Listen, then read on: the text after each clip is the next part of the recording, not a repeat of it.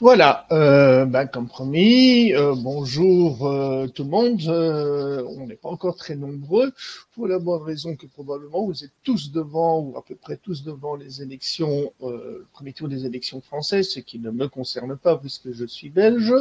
Donc je vous souhaite la bienvenue. Je vois que ça commence à arriver, ce qui est une très bonne chose. Ouais, tout à fait. Alors, de toute façon, les élections françaises, euh, c'est surtout le deuxième tour, à mon sens, qui est fort important. Premier tour, euh, bon, ben voilà, c'est une indication, mais c'est pas le plus important, c'est le résultat du deuxième coup, tour, à mon sens. Bien. Nous, en Belgique, on a toujours, pour les élections, on n'a qu'un seul tour, donc euh, on n'a pas euh, ce genre de truc, mais je sais très bien comment ça se passe. Ah, En début de soirée, c'est toujours la même chose. Les experts, les politologues, euh, etc., les journalistes spécialisés euh, vont de leurs petits commentaires, de leurs petites analyses. De temps en temps, on va voir comment tombent les résultats, et puis c'est l'un, puis c'est l'autre, et on spécule, on spécule, on spécule. Mais l'intéressant, c'est plutôt le résultat final de toute façon. Je crois que vous ne me contredirez pas. Le reste, c'est ce que j'appelle, c'est de l'habillage d'antenne, c'est du meublage d'antenne. Mais bon, ça c'est mon opinion. Mais on n'est pas ici pour discuter de, euh, de politique, on est ici pour discuter du Bigfoot. Alors, ce soir, nous allons entamer donc la deuxième partie euh, de ce que nous avions commencé la semaine passée. Et souvenez-vous, on, on avait terminé par, euh, en fait, l'histoire euh, de Jerry Crew et du nom de Bigfoot en 1958.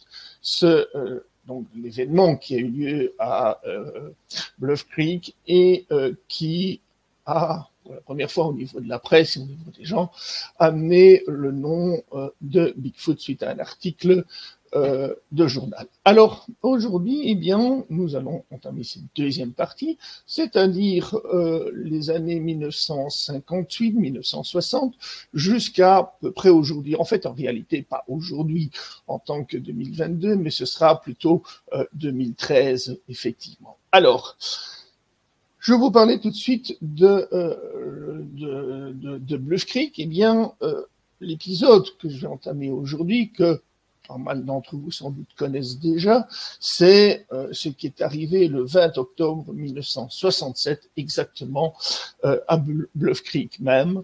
Et euh, ce jour-là, l'histoire du Squatch allait prendre un tournant tout à fait nouveau et tout à fait euh, innovateur quelque part. Eh bien, ce jour-là, deux cow-boys de rodéo Quelqu'un connaît le nom Ah oui, j'ai oublié de vous dire. Oui, oui, oui, oui. Alors, on va un petit peu fermer ces parenthèses, mais ça, vous le savez déjà.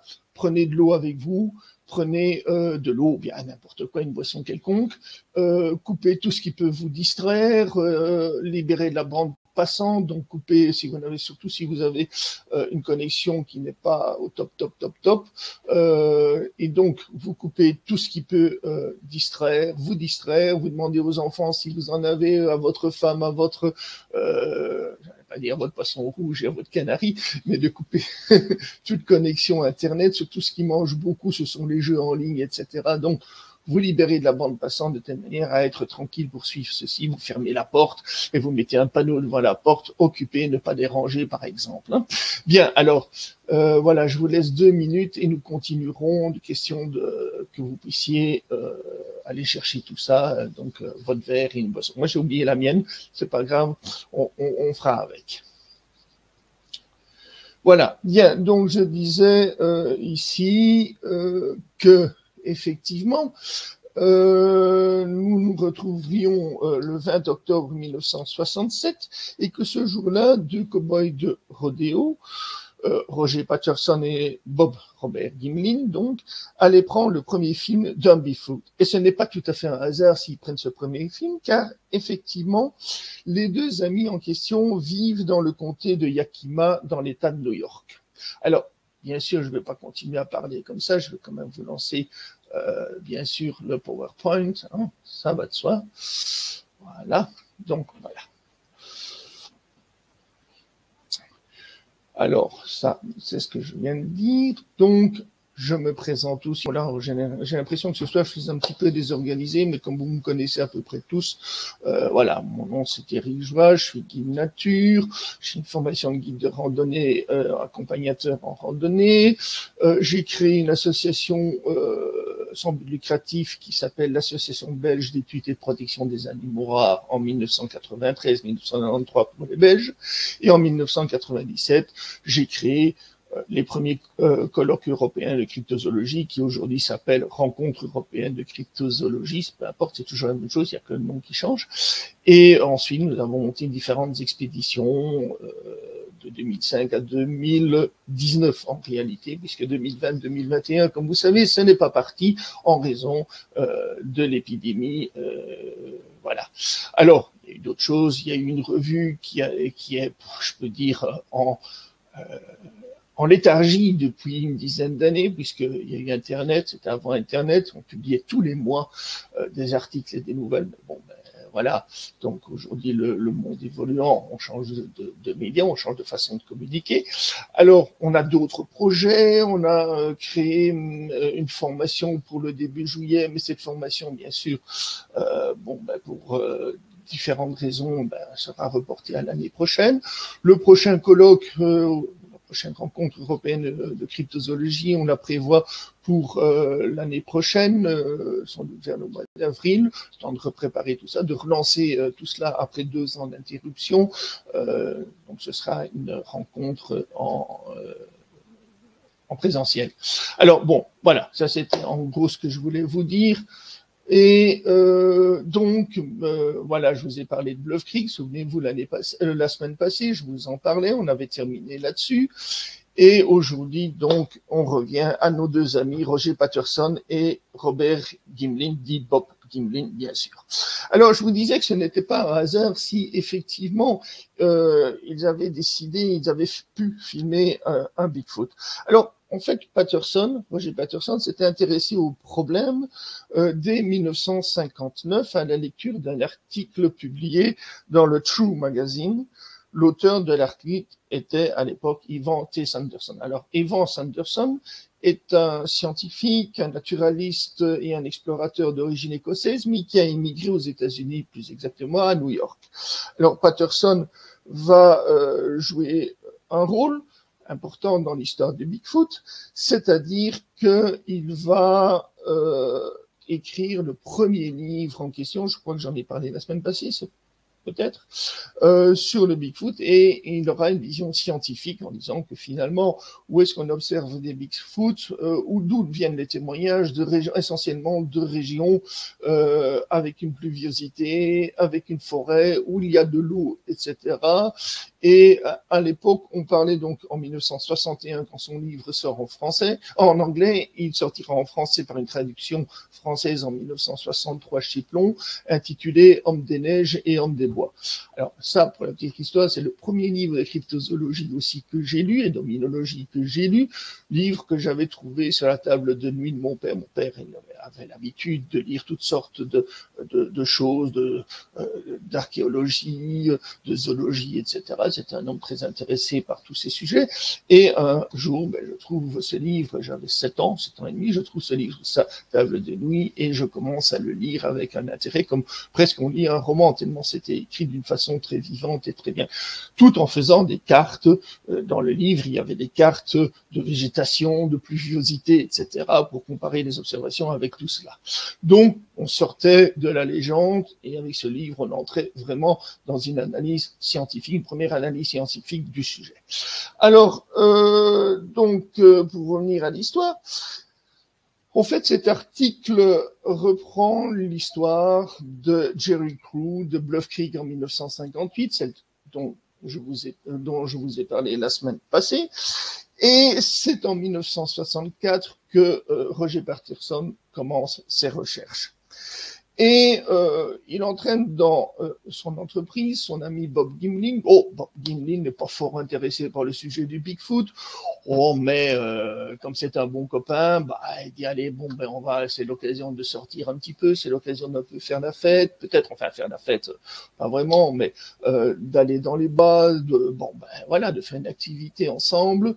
Surtout qu'ils sont de très bons cavaliers. Je vous ai dit qu'ils étaient en plus des participants à des rodéos à l'époque.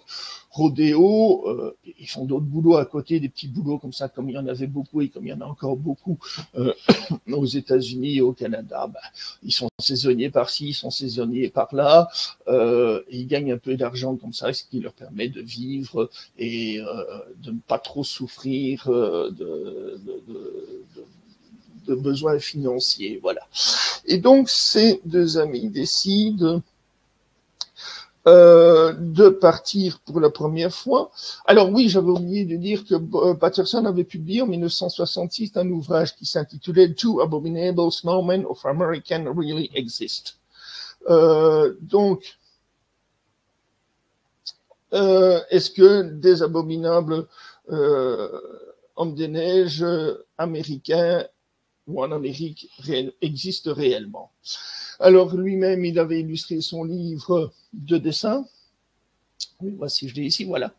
Donc on voit Roger Patterson à, euh, à gauche avec des empreintes de, euh, de, Bigfoot, et à droite on voit une des couvertures de son livre qui va être réimprimée plusieurs fois. Ça c'est une en question. On peut encore le trouver, euh, notamment sans faire de publicité sur Amazon. On peut encore trouver l'ouvrage. Moi je crois que j'en ai une édition dans ma bibliothèque avec une autre couverture, mais peu importe, c'est le même livre. Alors il va lui-même illustrer son ouvrage de dessin de sa plume, si je peux dire. Il a de réel talent artistique et je me demande bien si ce dessin ici, de couverture n'est pas celui n'est pas de Roger Patterson. Je crois bien que si. Alors, euh, bon, il est meilleur dessinateur qu'il n'est euh, écrivain. Bon, c'est pas mal écrit, mais c'est c'est, un peu écrit euh, comme quelqu'un qui n'est pas un écrivain, quoi. Hein, voilà, il s'écrit, mais c'est pas un écrivain. Mais n'empêche que ce qu'il raconte dans son livre, qui sont la collecte de témoignages qu'il a fait autour de lui, euh, eh bien, euh, ça lui permet bon, de faire un ouvrage qui est quand même d'une grande, d'un grand intérêt. Alors bon, à 16 heures, il est aussi un petit peu sculpteur. Il aurait euh, sculpté, mais j'ai pas pu la trouver, euh, une sculpture euh, représentant un buste de Sasquatch. Euh, mais pour l'instant, j'ai pas pu le trouver. Alors, en 1965 ou, ou 1966, Roger Patterson caresse le projet de tourner un film documentaire sur le Bigfoot. Et dans son entreprise, en mai 1967, il loue une caméra avec laquelle il a l'intention de filmer. Alors, vous avez vu la caméra précédemment, voilà, c'est ce type de caméra-là en question. Alors, euh, il décide donc de euh, louer cette caméra et de descendre, si je puis dire, d'aller filmer des empreintes de pied euh, autour, euh, bah, dans différents endroits. C'est ce qu'il veut afin de prouver que le Bigfoot existe bien et n'est pas une une légende. Et en août de la même année, entre août et septembre de la même année, il entraîne Bob Gimlin dans la région du Mont Sainte-Hélène. Alors le Mont Sainte-Hélène, l'époque, c'est encore une région tout à fait euh, boisée, avec une... Bon, Sainte-Hélène est un volcan qui, à l'époque, était en sommeil. Il va d'ailleurs se réveiller en 1980, détruisant tout sur son passage. Ce sera une énorme éruption en question, qui va d'ailleurs obliger la population à évacuer. Et ce mont Sainte-Hélène, à l'époque, donc en 1967, est encore tout à fait euh, paisible, il dort encore quelque part. Et euh, donc, il va aller avec Bob Gimlin entre août et septembre dans cette région.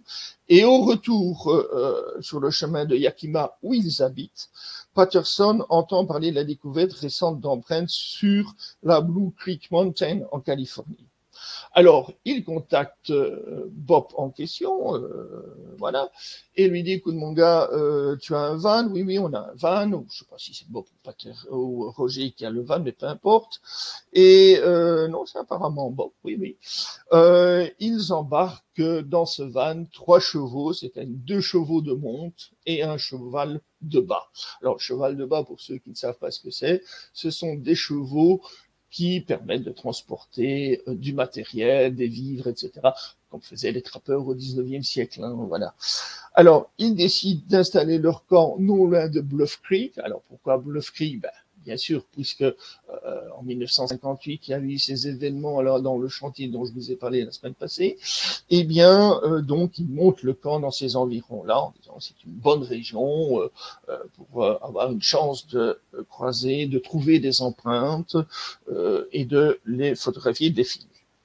Alors, ils, par, ils, passent leur journée à parcourir la zone à cheval et la nuit, euh, ils recherchent, euh, ils empruntent des sentiers les plus ardus et les plus difficiles, espérant en faire une observation nocturne, alors qu'en journée, bon, ils recherchent plutôt des empreintes de pieds euh, afin de les filmer.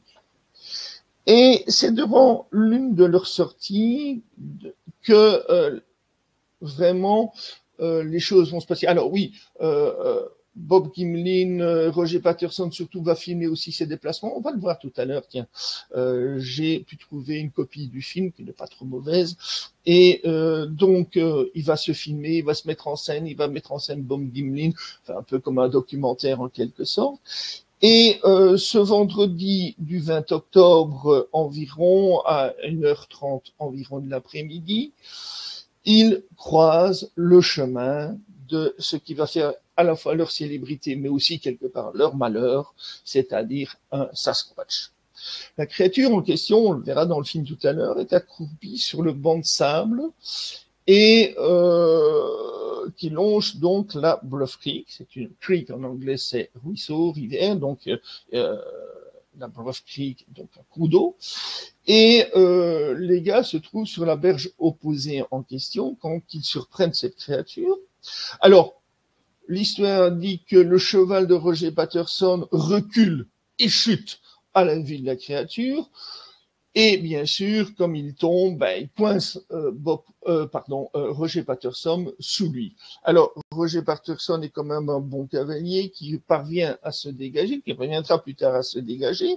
À côté du cheval de Patterson, au moment où il chute, ben, le cheval de bas lui est pris de panique également, et Bob Gimlin est obligé de lâcher la longe qui le retient afin de lui-même maîtriser sa monture qui euh, présente aussi des signes des signes de panique. Alors, Patterson, comme j'ai dit, est un cavalier accompli. Il parvient à se dégager de sous son cheval.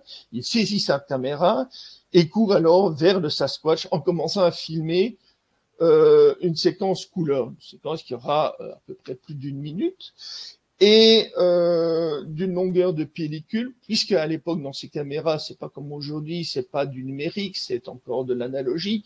On a, c'est un film avec euh, une euh, donc une bande qu'il faut remplacer une, une fois qu'elle est qu'elle est pleine. Alors cette bande ici, ben, il lui reste 7 mètres 50 et euh, pour arriver à la fin du rouleau, et c'est euh, donc euh, la créature qu'il va tenter euh, de filmer. Alors il va se redresser, là, là on verra tout à l'heure, le film va se stabiliser et il va le filmer jusqu'au moment où la créature va aller euh, se réfugier sous les arbres.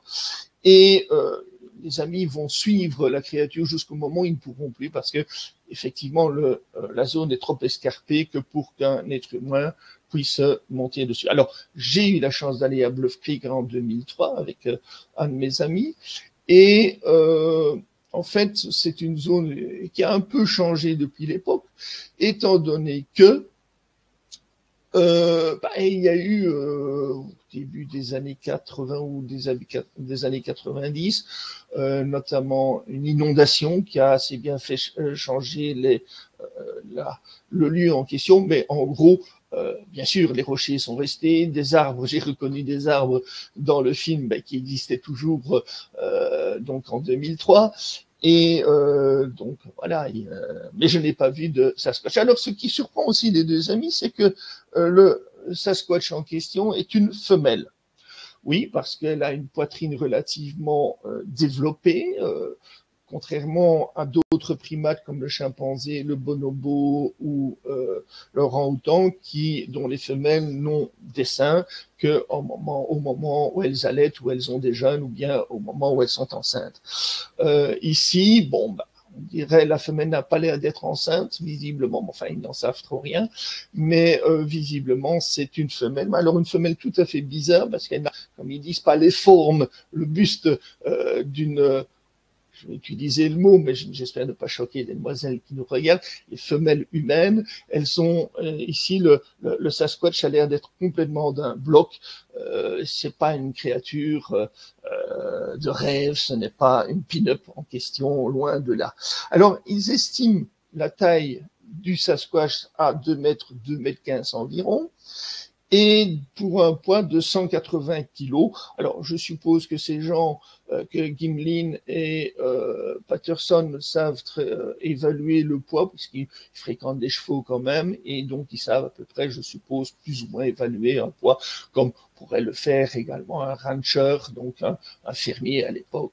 un fermier pourrait aussi évaluer, bon, voilà, un veau, ça doit peser, comme je le vois, à peu près autant, autant, autant. Donc, j'estime que euh, ils sont tout à fait capables de le faire. Alors, pendant que Roger Patterson est en train de filmer, euh, Gimlet est toujours euh, sur son cheval et il se dirige lentement vers la créature, il traverse le ruisseau, descend de cheval et saisit sa carabine Winchester 30-30. C'est une carabine, euh, c'est la carabine des westerns hein, avec levier d'armement que, que, tout le monde connaît euh, effectivement. Alors, euh, il va donc, euh, tient sa carabine euh, au cas où la créature se retournerait et chargerait par exemple et viendrait euh, agresser Roger Patterson.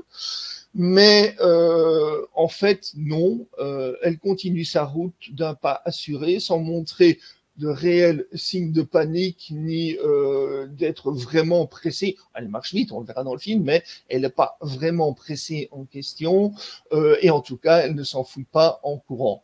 Alors, euh, en fait,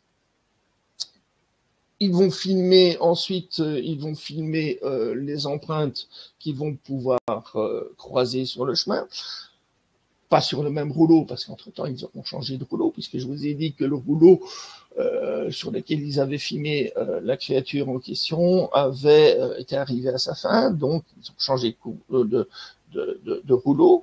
Ils ont mesuré, ils ont fait des moulages des empreintes en question, pied droit, pied gauche, et ils trouvent qu'une des empreintes, enfin, en moyenne, les empreintes ont 36,8 cm de long, donc à peu près un peu moins d'une quarantaine de centimètres de long. Alors, pour dire que moi, celle que j'ai pu eu la, chance de trouver quand je suis allé en Colombie-Britannique, euh, j'en ai trouvé plusieurs, avaient toutes dans les environs de 45 cm, 46, 47 cm de, de long, dont la première avec 47 cm de long et euh, 23 de large.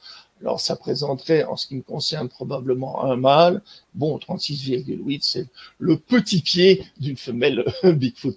Un peu, alors ça, c'est un peu une chose qui pour moi est importante aussi, parce que je me dis que si dans les témoignages, on a des tailles de pieds différents, différentes, eh bien, c'est euh, semblable à chez nous quand il s'agit d'un être humain, eh bien, entre gens même du même sexe, on a des pieds différents et chez nous, en général, toujours quelques exceptions qui confirment la règle, les pieds euh, euh, féminins sont plus petits que les pieds masculins, et donc ben, on est encore ici dans le même type de euh, ce qu'on appelle un dimorphisme, sexuel, ce qui est tout à fait dans l'ordre des choses, si je peux dire. Alors, les deux amis vont se mettre en route l'après-midi pour Arcata, où ils vont déposer les rouleaux en question pour les faire développer. Et en chemin, ils s'arrêtent à Willow Creek, à la boutique d'un ami qui est Al Hodgson, qui est décédé aujourd'hui, pour lui relater leur, son, aventure, et ainsi qu'à un autre ami qui s'appelle Seal McCoy, qui est guerre forestier, euh, en poste à la Lower Trinity Ranger Station. Alors, Al Option, j'ai eu l'occasion aussi de le rencontrer en 2003 et de passer une après-midi avec lui à enquêter un petit peu chez... Euh, il y avait à l'époque un incendie, il y avait des incendies de forêt, et nous avons euh, croisé, euh, nous avons interrogé des pompiers qui revenaient du feu s'ils avaient rencontré des choses style cadavres et compagnie. Alors ces pompiers, euh, c'est important parce que dans ces pompiers, il y avait tous ces pompiers étaient des Indiens ou pas, sauf un qui était un, noir, mais euh, tout le reste était des Indiens ou pas. Euh, ça a valu une petite plaisanterie de mon compagnon Benoît qui n'est pas là ce soir et qui était la semaine passée en disant regarde qu'il y en a qui a été un peu trop longtemps au feu. Voilà, petite blague comme ça, pas bien méchante. Alors à 21h30. Euh, Patterson contacte donc euh, un journaliste du Times Standard à, Eureka, donc à Eureka, si on peut le prononcer en français, qui est la ville principale du nord de la Californie. Et l'article en question paraîtra le 21 octobre, donc le lendemain de l'observation en question. Alors, ce film, pendant 50 ans, va faire l'objet de plusieurs analyses scientifiques, euh, notamment de la toute première, euh, parce que oui, un chercheur euh, local dont le nom m'échappe, et pourtant je le connais bien, euh, il va me revenir, euh, va se saisir de la pellicule et va aller jusqu'à Moscou euh, pour nous montrer à des scientifiques, et notamment à Marie-Jeanne Kaufmann, euh, à Dmitri Bayanov et à un autre scientifique, c'est Dmitri Donskoy en 1972. Et Dmitri Donskoy est un spécialiste de la locomotion humaine et il entraîne et il étudie euh, la locomotion humaine pour améliorer les performances des athlètes soviétiques à l'époque, façon dont on, on, entame une course, la, la, foulée, etc., pour améliorer leurs performances. Donc, il connaît parfaitement bien euh, la biomécanique humaine. Et quand il voit le film, sa première réaction a été ça, c'est pas humain. Voilà. Alors, il y aura d'autres scientifiques qui le verront, c'est euh, le docteur Grieve, le docteur Jeff Meldrum, qui existe toujours d'ailleurs, est toujours actif, et euh, un dénommé Glinkman, qui est euh, qui travaille pour la FOTEC, qui est euh, donc un service de euh, d'études scientifiques, je crois, attaché à la police scientifique. Alors, ils ont tous tenté de prouver l'authenticité euh, ou, au contraire, que ce film était un canular habilement mis en scène. Il y a eu beaucoup de choses qui ont été écrites derrière. Certains se sont même vantés d'avoir été l'homme en costume en question, euh, mais euh, ça tient pas la route. Alors on a dit que Patterson euh, avait monté cela, mais bon, quand on réfléchit, je vous ai dit tout à l'heure de quoi il vivait, ils n'avaient pas les moyens de construire un, costume d'une telle qualité avec leur petits moyens, on n'avait pas les possibilités parce qu'on a calculé aussi combien coûterait un, costume comme ça.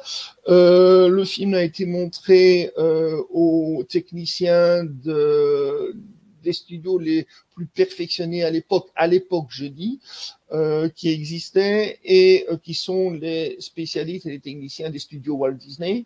Euh, qui ont dit euh, ok mais euh, si euh, vous connaissez si ça c'est un canular si ça c'est un costume donnez-nous tout de suite l'adresse du gars et le numéro de téléphone on l'engage dans l'heure hein, parce que nous on n'est pas capable de faire cela hein, avec notre technique on est en 1969 1970 on n'est pas capable de faire cela avec les moyens que nous disposons bien alors je vais vous montrer quand même le film, oui, puisque je parle, je parle, je parle, mais il est peut-être bon que je vous montre le film aussi.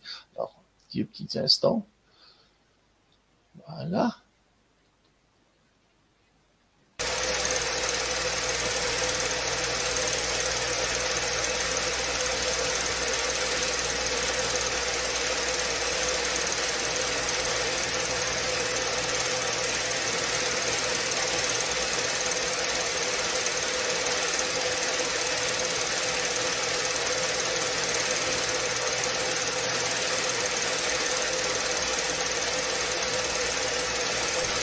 Alors, comme vous avez vu au début, c'est bien sûr le film, euh, comme je vous ai dit, il avait filmé avant, c'était filmé, il avait filmé, il avait filmé Bob Dylan et compagnie. C'est ce qu'on voit au début du film avant de voir la scène qui nous intéresse. Ça, c'est le film complet, que l'on montre euh, pas toujours euh, quand on parle du Sasquatch.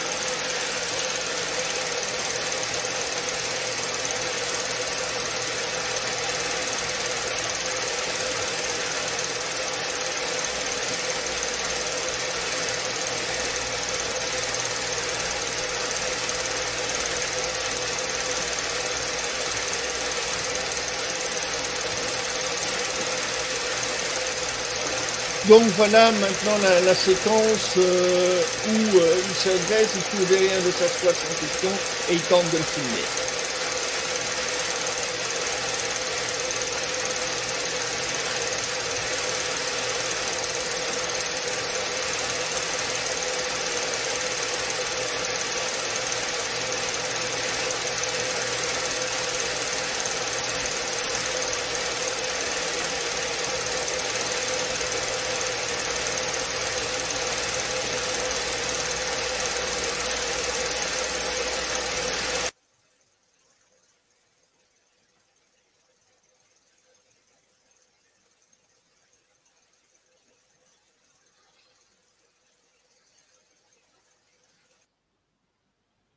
Voilà, donc euh, vous avez vu ce film, la première partie en tout cas, euh, enfin tout le film en question, mais je dis première partie parce que je vais vous montrer quelque chose après.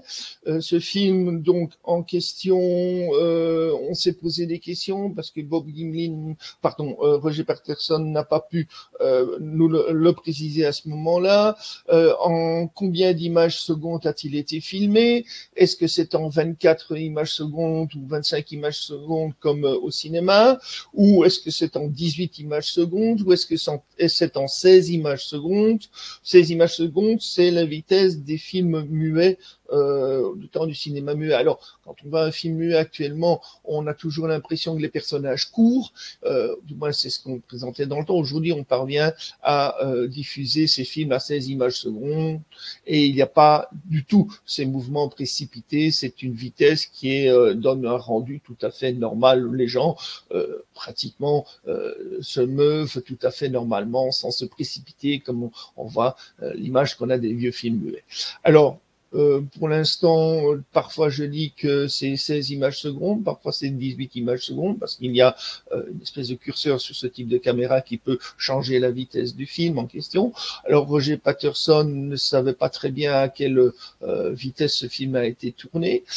Euh, enfin, on l'a beaucoup critiqué et euh, je ne vais pas entrer dans les détails ici parce que sinon ça nous amènerait trop loin. Mais je vous conseille de télécharger ce que je vais vous offrir ici. C'est l'analyse de euh, donc de, la phothèque de Linkman en question. Voilà, alors vous pouvez le télécharger, je le suppose. Donc c'est en version PDF. Là, je suis en train de vous le partager. C'est la première fois que je partage, un, il me semble, un fichier PDF. Ah non, ce sera pour le cadeau tout à l'heure aussi. Vous aurez le droit euh, à ce fichier PDF. Alors bon, moi on va continuer ici. Donc il y a, euh, on va avoir un film stabilisé, une, une séquence stabilisée du film. Je crois que c'est intéressant aussi. Voilà. Et et on va voir la créature euh, d'un peu plus près normalement.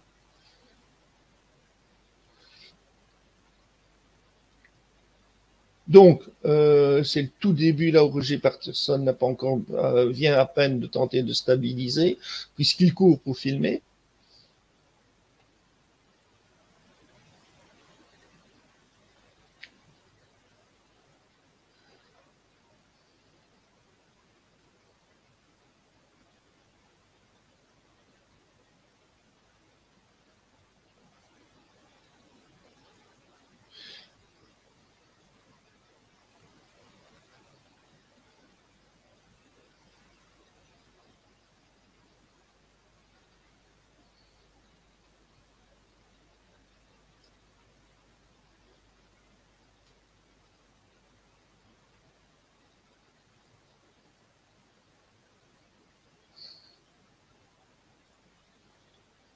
Voilà, donc euh, ça c'était euh, donc euh, la version stabilisée du film en question.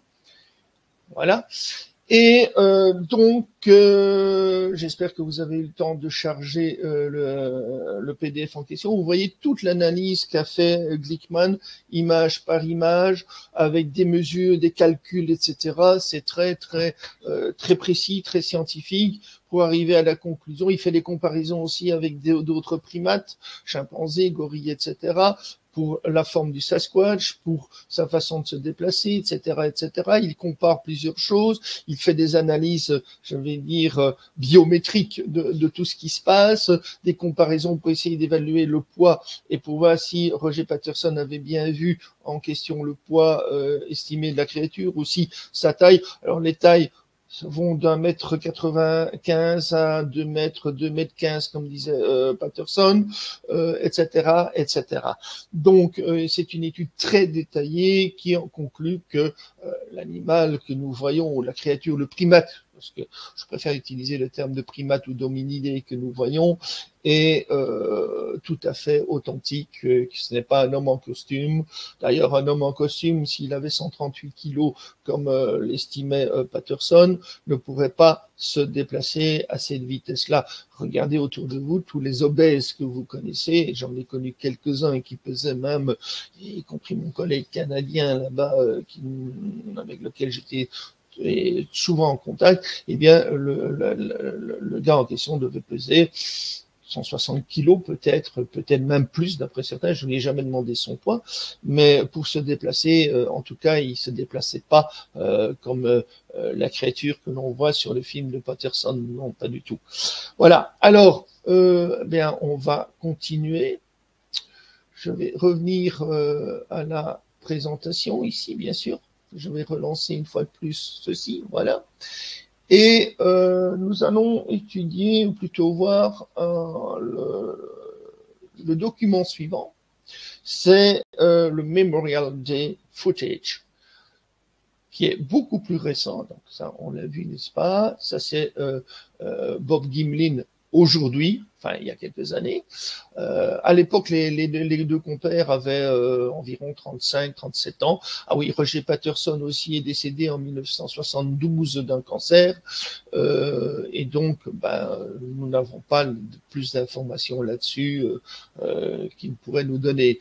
Par contre, Bob Gimlin euh, s'est tu pendant des années et maintenant il commence à parler. Alors, Bob Gimlin, on a accusé tous ces gens de toucher, d'avoir fait fortune. Bob Gimlin n'a jamais fait aucune fortune autour de ce film. Euh, ça serait au contraire, ça lui a causé beaucoup plus de problèmes que euh, d'avantages. Alors, le Memorial Day Footage de 1996-1996, ça c'est le deuxième film que euh, Jeff Meldrum considère ou considérerait dans les années, au début des années 2000 comme authentique. Alors aujourd'hui, c'est comme tous ces films, comme aussi le film précédent, il, euh, il est contesté, en disant oui, mais, oui, mais, oui, mais ceci, oui, mais cela. Bon, pour l'instant, je vous le présente, on va pas ici entrer dans ces, euh, dans ces considérations qui sont des considérations euh, qui mettraient euh, tout, un, tout un webinaire à exposer. Donc, je vais tenter également de vous le présenter ici. Voilà, je l'ai. On va chercher, on va le chercher en vidéo. 96 while on a fishing trip with her family and friends in northeast Washington. This video clip, known as the Memorial Day footage, shows a hair-covered upright figure running across a mountainside. Okay, where the, um, see where the bush is? And then there's a small pine tree? Known as the And then there, he was right behind that small pine tree, right? While not greatly detailed, it has certain compelling aspects to it, including the movement and the high speed at which the figure appears to move And across the rugged terrain. right behind that small pine tree, right? He's, he's all, all on video. aspects to it, including the movement and the high speed at which the figure appears to move across the rugged terrain. He's, he's all, all on video.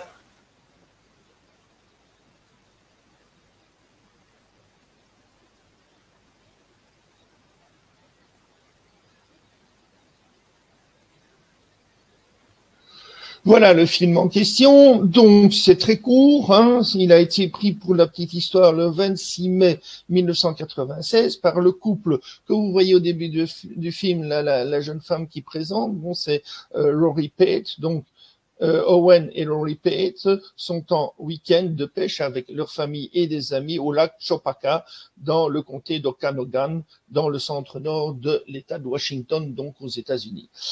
et euh, filme cette créature, cette, euh, cette silhouette qui traverse ce champ en question en courant et euh, bon, ce film va être réanalysé aussi euh, par Meldrum et, et d'autres. Alors, comment ça va être fait?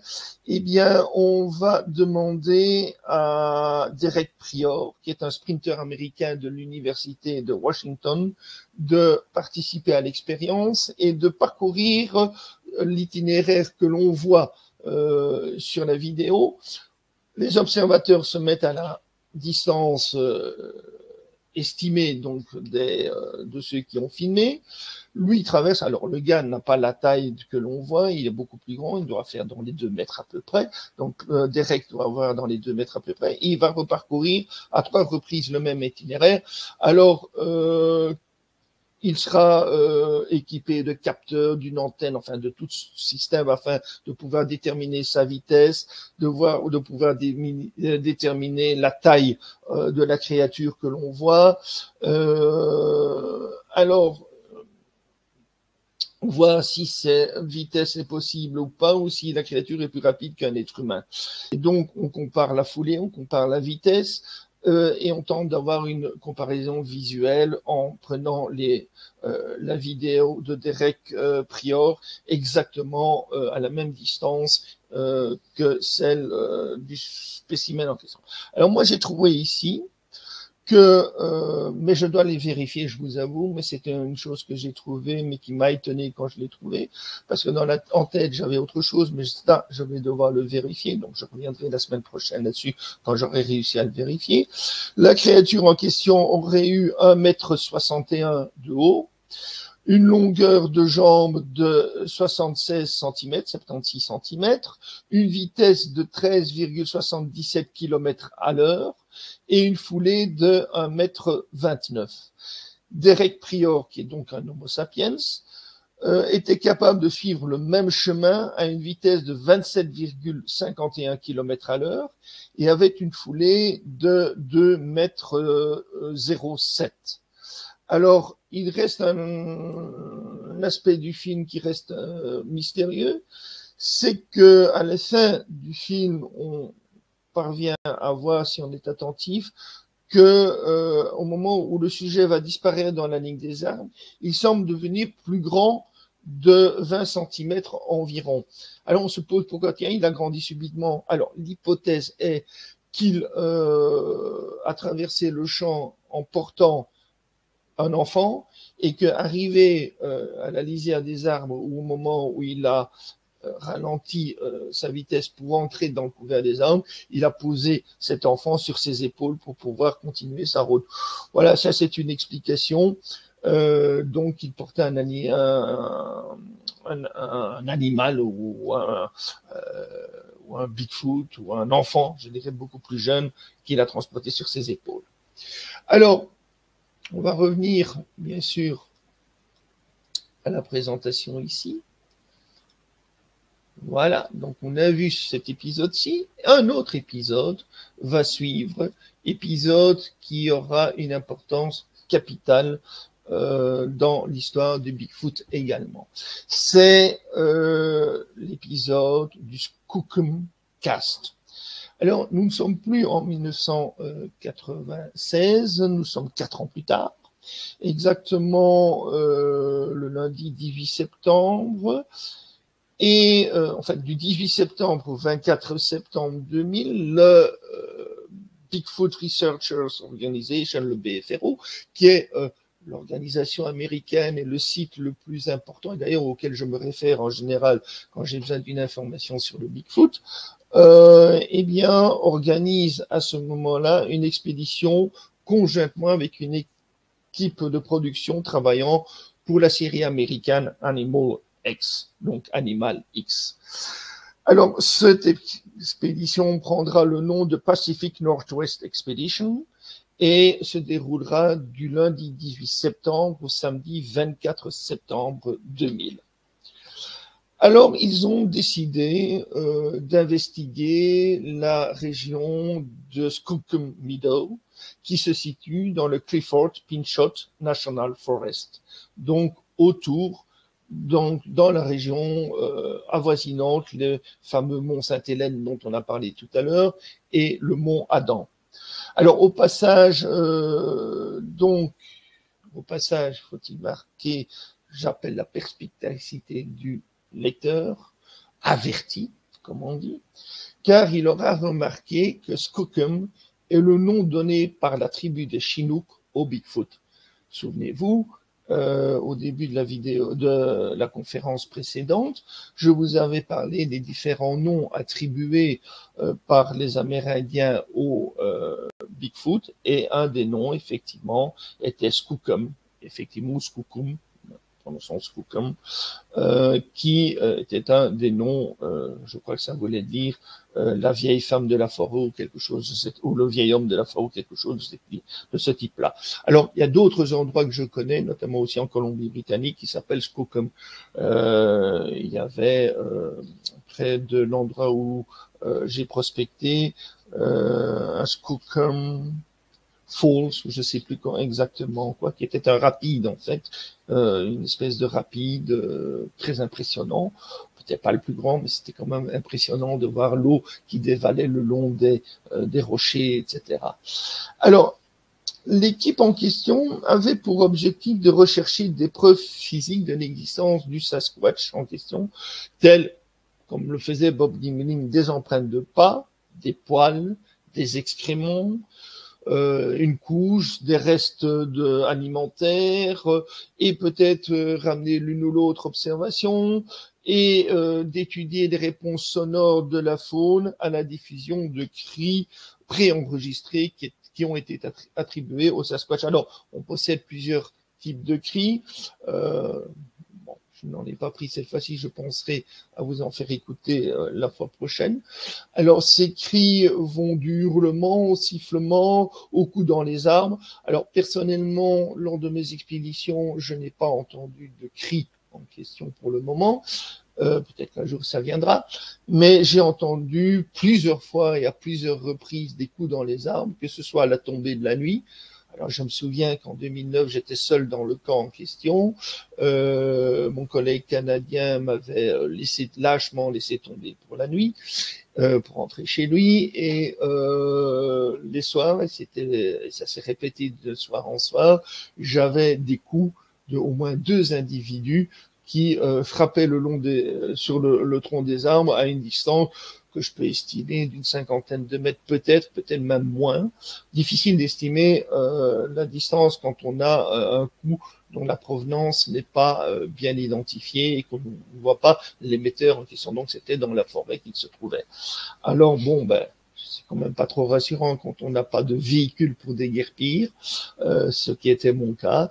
Et euh, voilà, donc j'ai eu euh, le fait plusieurs fois. Et même, hein, je me souviens un jour, j'avais été sur le chemin qui me menait au camp en question, et euh, question de filmer euh, ce que je pouvais filmer, faire un peu de ce qu'on appelle de, de film de euh, d'illustration, notamment au moment où j'étais en train de filmer un écureuil qui m'engueulait euh, très fermement et très activement en reculant le long de, son tronc d'arbre, euh, eh bien, il était trois heures à peu près trois heures et demie de l'après-midi.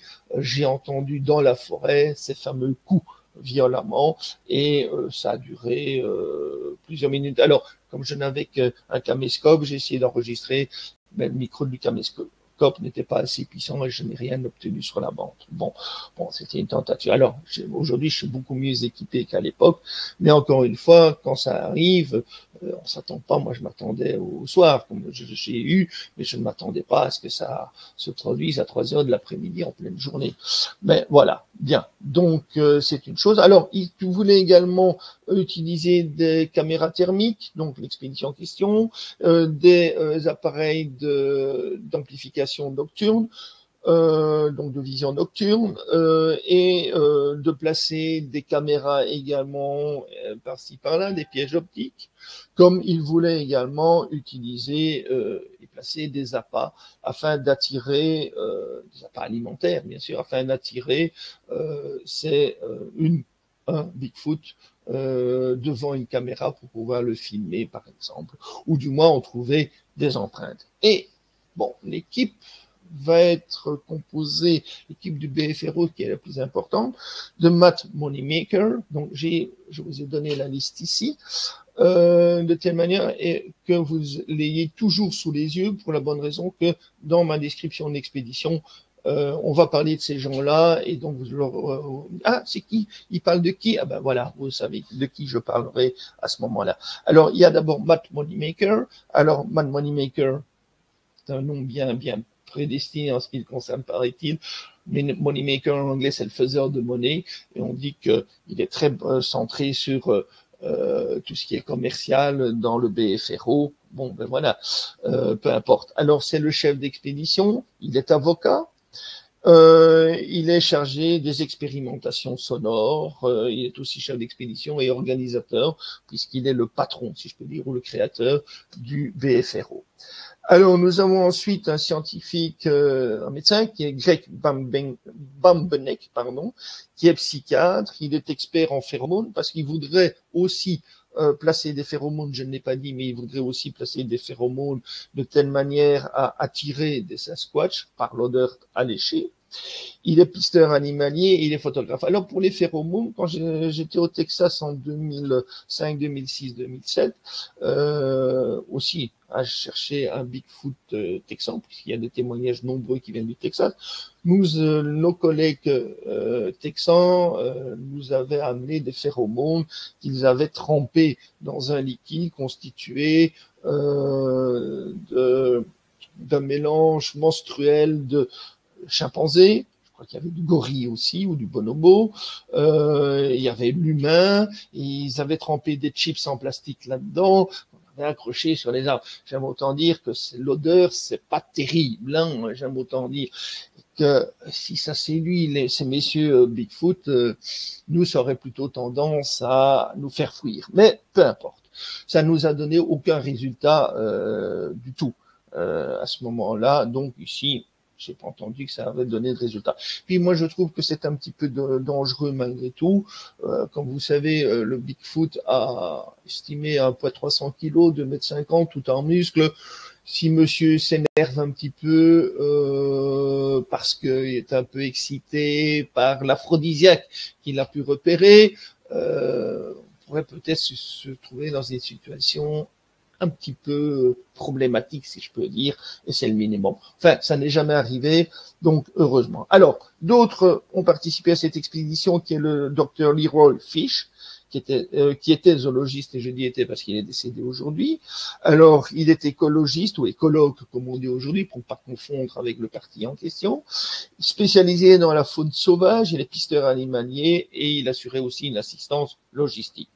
Il y avait Jim Hennick, qui était charpentier, qui dit nature, aussi il euh, secondait le docteur euh, Fish. Il y avait Jem Lemley, qui était euh, coordinateur et guide à la Clifford euh, la, oui, euh, Guildford Pinchot National Forest, comme j'ai dit, donc sur le lieu. C'était chargé de la communication. Lui, il était un spécialiste des soins de santé. Il y avait Erin Lee, qui était également assistante juridique, euh, logistique, pardon, qui était euh, dans la vie civile, je veux dire, est responsable d'un service de soins, d'un secteur de soins de santé. Il y avait Richard Knoll, qui est un métrologue. Un métrologue, c'est un arpenteur, si on peut dire, euh, qui était expert en moulage de traces, pisteur animalier et photographe et vidéaste. Il y avait Tom Powell, Thomas Powell, qui est professeur de sciences euh, dans une école secondaire euh, à l'époque, euh, qui était photographe, expert en appât et coordinateur. Alors Tom Powell a écrit plusieurs livres, notamment le plus célèbre, c'est The Locals que je possède, où il ré, récolte plusieurs témoignages également dans ces régions. Alors il y a Derek Rendels, qui est un architecte paysagiste, qui était pisteur. Il y a Alan Thierry, qui est ingénieur en électronique et qui se charge de la communication et de fournir de l'énergie à toute cette expédition parce que bien sûr, on a besoin d'énergie pour faire fonctionner les caméras, pour faire fonctionner différentes choses et il n'est pas question de mettre ça dans une prise de courant comme ça, pouf, comme on est chez nous, puisqu'en pleine forêt, nous n'avons pas de courant, nous ne sommes pas dans un dessin animé de Tex Avery, n'est-ce pas? Alors, il est peut-être important de commencer euh, à savoir comment euh, se sont déroulés les événements dont je vous parle.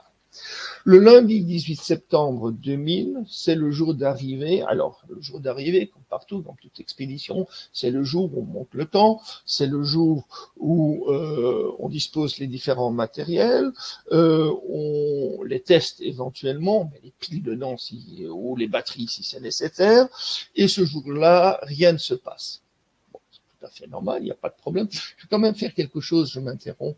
Je vais quand même voir si je ne peux pas euh, augmenter un petit peu ici. Voilà, je crois que c'est un petit peu mieux, non? Ben Voilà, comme ça vous voyez un peu mieux.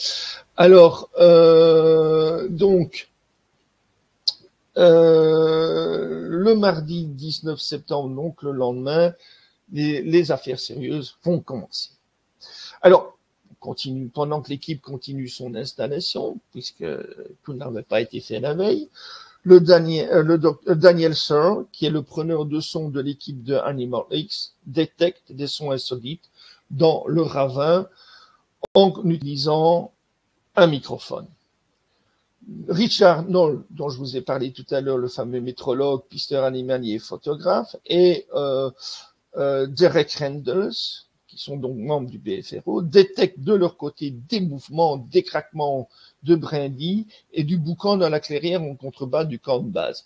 Alors, ça me rappelle un petit peu en ce qui me concerne ce que j'ai vécu également en 2008, donc lors de la première expédition officielle que j'ai euh, montée et à laquelle bien sûr j'ai participé en Colombie-Britannique, où nous avons vécu le premier soir et à peu près exactement la même chose, où quelque chose euh, s'est agité à quelques mètres de nous dans les buissons et ça faisait un boucan assez formidable. Ça nous a surpris. D'ailleurs, on a bondu, on était en train de discuter le soir avec le collègue canadien et et mon ami euh, Benoît qui m'avait accompagné déjà depuis longtemps euh, dans plusieurs expéditions et euh, subitement ben voilà il y a quelque chose qui se passe dans les buissons. On entend qu'il y a une, créature visiblement bipède et assez lourde qui se déplace. Ça nous a surpris nous a fait même bondir hors de nos chaînes. Nous n'avons rien vu malheureusement et le son s'est arrêté au bout de quelques secondes, mais je vous assure que euh, je crois qu'on a eu un coup au cœur. On, euh, on discute tranquillement de euh, une bière à la main et puis subitement, ben, ça bouge euh, à quelques mètres de nous.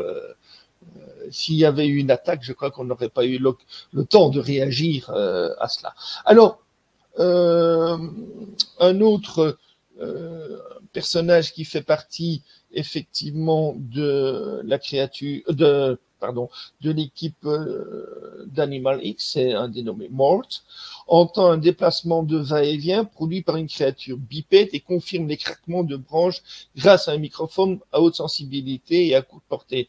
Malheureusement, euh, aucun enregistrement n'est fait, euh, de cet épisode et donc nous n'en avons aucune trace si ce n'est les témoins chez nous non plus. Nous n'avons pas pensé, nous n'avions pas prêt, euh, nous n'étions pas prêts euh, en 2008. C'était le premier soir où nous avions installé le camp à, euh, enregistrer la chose qui se déplaçait dans les buissons près de nous. Alors, quelques minutes plus tard, euh, en question, donc Jim Enick, émet à son tour des enregistrements de coups il obtient une réponse similaire provenant d'un lieu situé à moins de 800 mètres.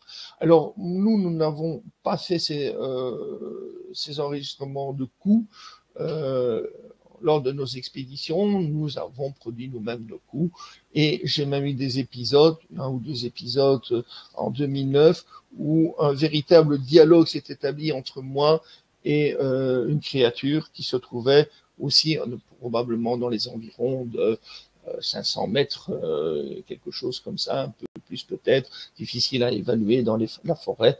J'ai des points de repère pour euh, l'époque. Euh, donc voilà, ce sont des choses qui me parlent moi personnellement, mais peu importe. Alors mercredi 20 septembre, donc le surlendemain de l'arrivée, il décide d'organiser une vaste exploration en plein jour et découvre trois pistes de Sasquatch potentielles, parmi lesquelles il relève des empreintes qui ont 42,5 cm. Et euh, ces euh, pistes, euh, ces trois pistes proviennent de zones différentes. La même nuit, entre minuit et une heure du matin, deux Sasquatch distincts euh, répondent 30 secondes après l'émission d'appel enregistré, comme ils l'ont fait euh, précédemment. Euh, je n'ai pas retrouvé, ils, ils, disent que ce sont des enregistrements pris près du lac Tao en Californie. J'ai cherché ces enregistrements, je ne les ai pas trouvés sur le net. Euh, je continuerai à les chercher et une fois, si je les trouve, je vous les présenterai lors d'un prochain webinaire. Euh, donc, c'est ce qu'ils ont entendu, ces, ces, ces, appels, ces réponses de cris qu'ils ont entendus ne sont identifiés comme n'appartenant à aucun animal connu des euh, gens qui se trouvent sur place, alors que certains membres de l'expédition ont une très bonne connaissance euh, des différents cris de la faune de l'endroit. Ils ne peuvent le rattacher. Bon, alors c'est y compris bien sûr l'original, donc l'élan, y compris le lion de montagne, donc le puma, et différentes espèces de hibou. Alors je vous garantis que euh, les cris de hibou comme de la de hibou, bien d'oiseaux nocturnes tels la, la, la, chouette rayée, il y a de quoi, euh, quand on ne sait pas ce que c'est, et que ça euh, se déclenche près de, chez, près de vous ou à quelques dizaines de mètres de vous, il y a de quoi euh, faire dresser les poils sur, euh, sur, sur, le dos et sur les avant-bras. Je vous le dis carrément parce que je l'ai entendu plusieurs fois ce cri de chouette. Et euh, ce cri de chouette, c'est vraiment, quand on ne sait pas ce que c'est, c'est un peu euh, effrayant. Alors tellement bien effrayant euh, que euh, au camp que j'avais l'habitude d'occuper, qui avait changé, il était devenu vraiment un camp bien géré et tout. Il y avait dans sur la parcelle à côté de la mienne une famille qui s'était installée avec leur caravane pour le week-end et euh, ils avaient des enfants, deux enfants ou trois enfants. Et euh, en pleine nuit, ben, la chouette s'est mise à crier, je vous le dis, euh, dans les environs. Les enfants, les enfants se sont réveillés, paniqués. Euh, je les entendais appeler leur mère, euh, leur père, paniqué, qui tentait de les rassurer en leur disant mais non, mais non, c'est rien, ce n'est qu'une chouette, ce n'est qu'une chouette. Alors, les réponses donc en question ont été analysées et ne correspondent pas à ces animaux, enfin ni à l'orignal, ni euh, au puma, euh, ni à la chouette en ce qui concerne les volumes, les timbres, les hauteurs et les harmoniques, puisque euh, elles ont été enregistrées, elles sont beaucoup plus puissantes, plus claires et plus naturelles et harmonieuses, même que l'enregistrement qu'ils ont passé du lac Tao. Alors, ils estiment donc Bambenek et Terry estiment la distance de ces cris de, 3, euh, de, ces cris à 300 yards, c'est-à-dire plus ou moins 300 mètres euh, dans les faits. Alors, euh, ils ont été entendus deux fois à des intervalles approximativement de 5 secondes. Alors, il y a une troisième répétition qui a lieu également euh, et qui s'est arrêtée quand les coyotes se sont mis à hurler. Euh, et 20 minutes plus tard, euh, on a refait une diffusion du cri du lac Tao qui n'a obtenu pas de réponse cette fois-ci et la nuit s'est passée sans problème. Vient maintenant le vendredi du 22 septembre 2000 qui est euh, le vendredi qui va, comme on dit, tout changer. Alors jusque-là, des choses qui arrivent, qui nous est arrivé également, pas de quoi, euh, pour moi, euh, être étonné. Hein, quand on passe quelque temps dans la nature à chercher le Bigfoot dans les zones où il se trouve, on a ce genre de truc, je l'ai vécu comme je vous l'ai dit. Mais le 22 septembre 2000, ce jour-là, le temps est beau, mais venteux, et la nuit a été claire. Il gèle, il fait moins de 4,5 degrés. Fishnall et Randles du BFRO quittent le camp vers 9 heures du matin afin de visiter les endroits où ils ont été, où ils ont placé des appâts la veille ou euh, quand ils sont arrivés. Et euh, ils vont découvrir que trois des six pommes qu'ils avaient installées ont disparu alors, ils avaient installé, on va, on va continuer à avancer. Hein. Euh, non. Alors, euh, ça c'est plus tard. Alors, ils ont placé les pommes en question au centre d'une nappe de boue qu'ils ont créée. Donc, hein, ils ont mis au centre des pommes, ils ont mis au centre euh, de telle manière à ce que euh, l'animal ou la créature qui voudrait se saisir des pommes soit obligé de passer par la boue en question et laisse ses traces. Et euh, il trouve effectivement des traces de cervidés, probablement euh, du cerf, du cerf euh, mulet, de coyotes. Euh, ces traces sont plusieurs âges différents, donc ces animaux sont venus plusieurs fois, mais ils sont surpris de découvrir au, à un certain endroit une curieuse dépression qui est orientée vers le centre de la flaque de boue. Alors, ils se demandent quel animal a pu faire cette dépression si grande. Et tout de suite, l'évidence leur saute aux yeux, il s'agirait d'un Bigfoot. Les trois compagnons notent alors euh, des variations de pression au sein de l'empreinte en question et la présence d'une quantité de morceaux de pommes mâchouillés dispersés tout autour de cette dernière. Alors, remarque, si ça avait été un cerf, si ça avait été un ours, si ça avait été un coyote, les pommes seraient disparues entièrement, n'auraient pas été euh, mangées sur place euh, et n'auraient pas, euh, donc on n'aurait pas retrouvé ces, ces déchets en question. Alors, ils alertent tout le monde, le camp de base se rend sur place, donc tous les gens du camp de base se rendent sur place, et concluent que l'animal a d'abord dû s'asseoir au bord de la boue, donc du, terrain boueux, avant de se pencher, en prenant appui sur son avant-bras gauche pour saisir par-dessus la boue humide des fruits, donc les pommes, avec sa main droite à une distance d'environ un mètre.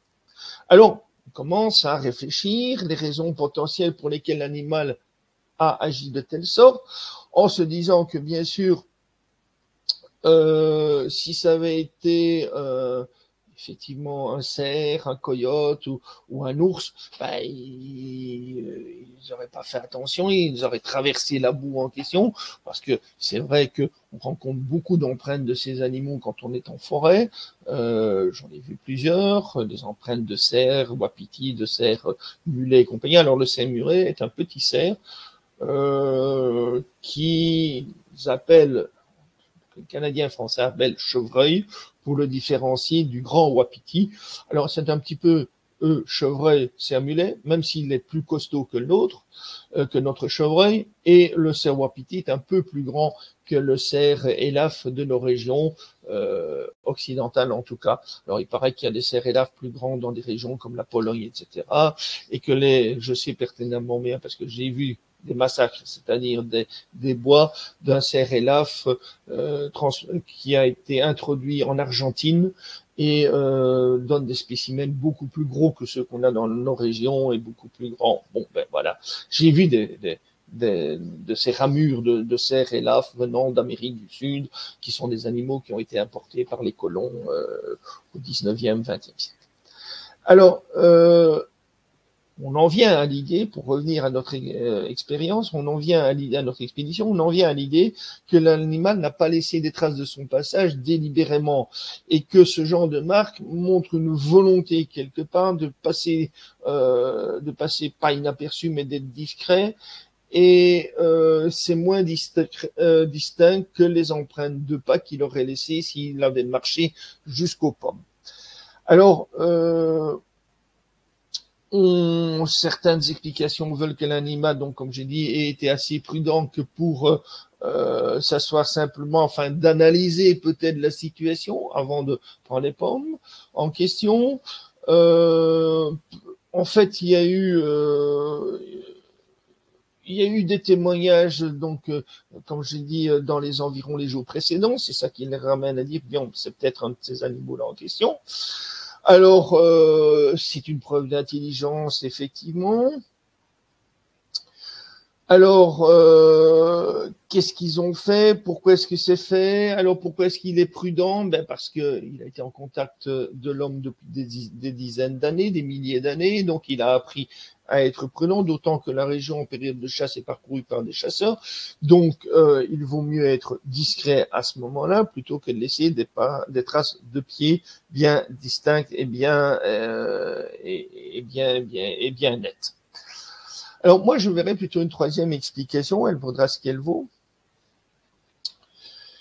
Et si l'auteur de ces, ces empreintes de, de, ce corps avaient tout simplement craint de se trouver enfoncées dans des sables mouvants.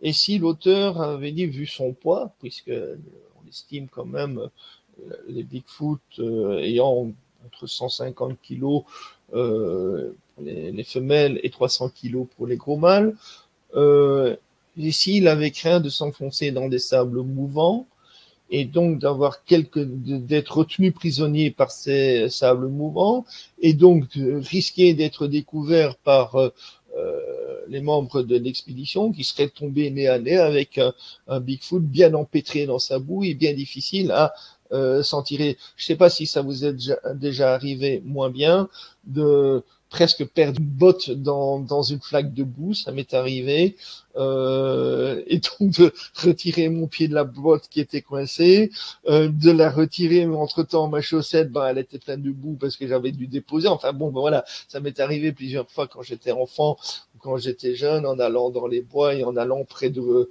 de, de, mares, près de, de, d'étangs, près de ruisseaux, etc. Donc, Peut-être de cela euh, avait-il craint aussi. Alors, il paraît qu'il n'y a pas trop de danger, euh, que c'est plutôt une légende, des gens qui s'enfoncent dans les sables mouvants, comme on voit dans les westerns et dans les films. Il paraît que ce serait une légende, euh, d'après ce que j'ai vu dans un reportage. Bon, voilà, ben, c'est une hypothèse. Je ne dis pas qu'il aurait été absorbé, qu'il aurait été avalé par le sable, comme on voit dans, dans les films, mais il aurait sans doute été fort embêté pour se tirer de là, euh, ne fût-ce que s'il avait de la boue jusqu'au jusqu genou en question. Alors, euh, deux choses importantes qu'il faut dire. Euh, on a estimé que cette empreinte en question avait été faite entre 3 heures et 9 heures du matin et que l'appel qui avait été entendu la nuit précédente dont je vous ai parlé paraissait provenir de cet endroit. Et donc, euh, c'était la raison effectivement pour laquelle nos pisteurs et nos trackers de Bigfoot avaient placé à cet endroit-là des pommes en question. Alors, petite anecdote personnel, malheureux, euh, excusez-moi, mais il m'est arrivé euh, en 2009 de placer aussi un appât. Euh, j'avais pas de caméra malheureusement à l'époque, j'avais pas de piège optique sur moi. Aujourd'hui, j'en ai plusieurs, mais de placer une, euh, j'avais placé dans un ravier en plastique. Là, vous voyez les raviers dans lesquels on met, par exemple, la viande que vous achetez au supermarché. Ou des fruits hein, aussi comme ça, on ravier comme ça. J'y avais mis euh, du 5 tranches de pain, j'y avais mis non, pardon, j'avais d'abord mis des abricots, des petits abricots, ils avaient disparu. Le lendemain ou le surlendemain, ils avaient disparu. J'avais placé, ensuite j'avais, j'étais monté plus haut, j'avais déposé des pommes qui ont disparu également. La fois d'après, ben j'ai déposé euh, quelque chose de tout à fait euh, cinq tranches de pain et une banane. Alors la première, quand j'ai été vérifié le lendemain, ben euh, j'ai trouvé qu'il y avait deux tranches de pain qui avaient disparu.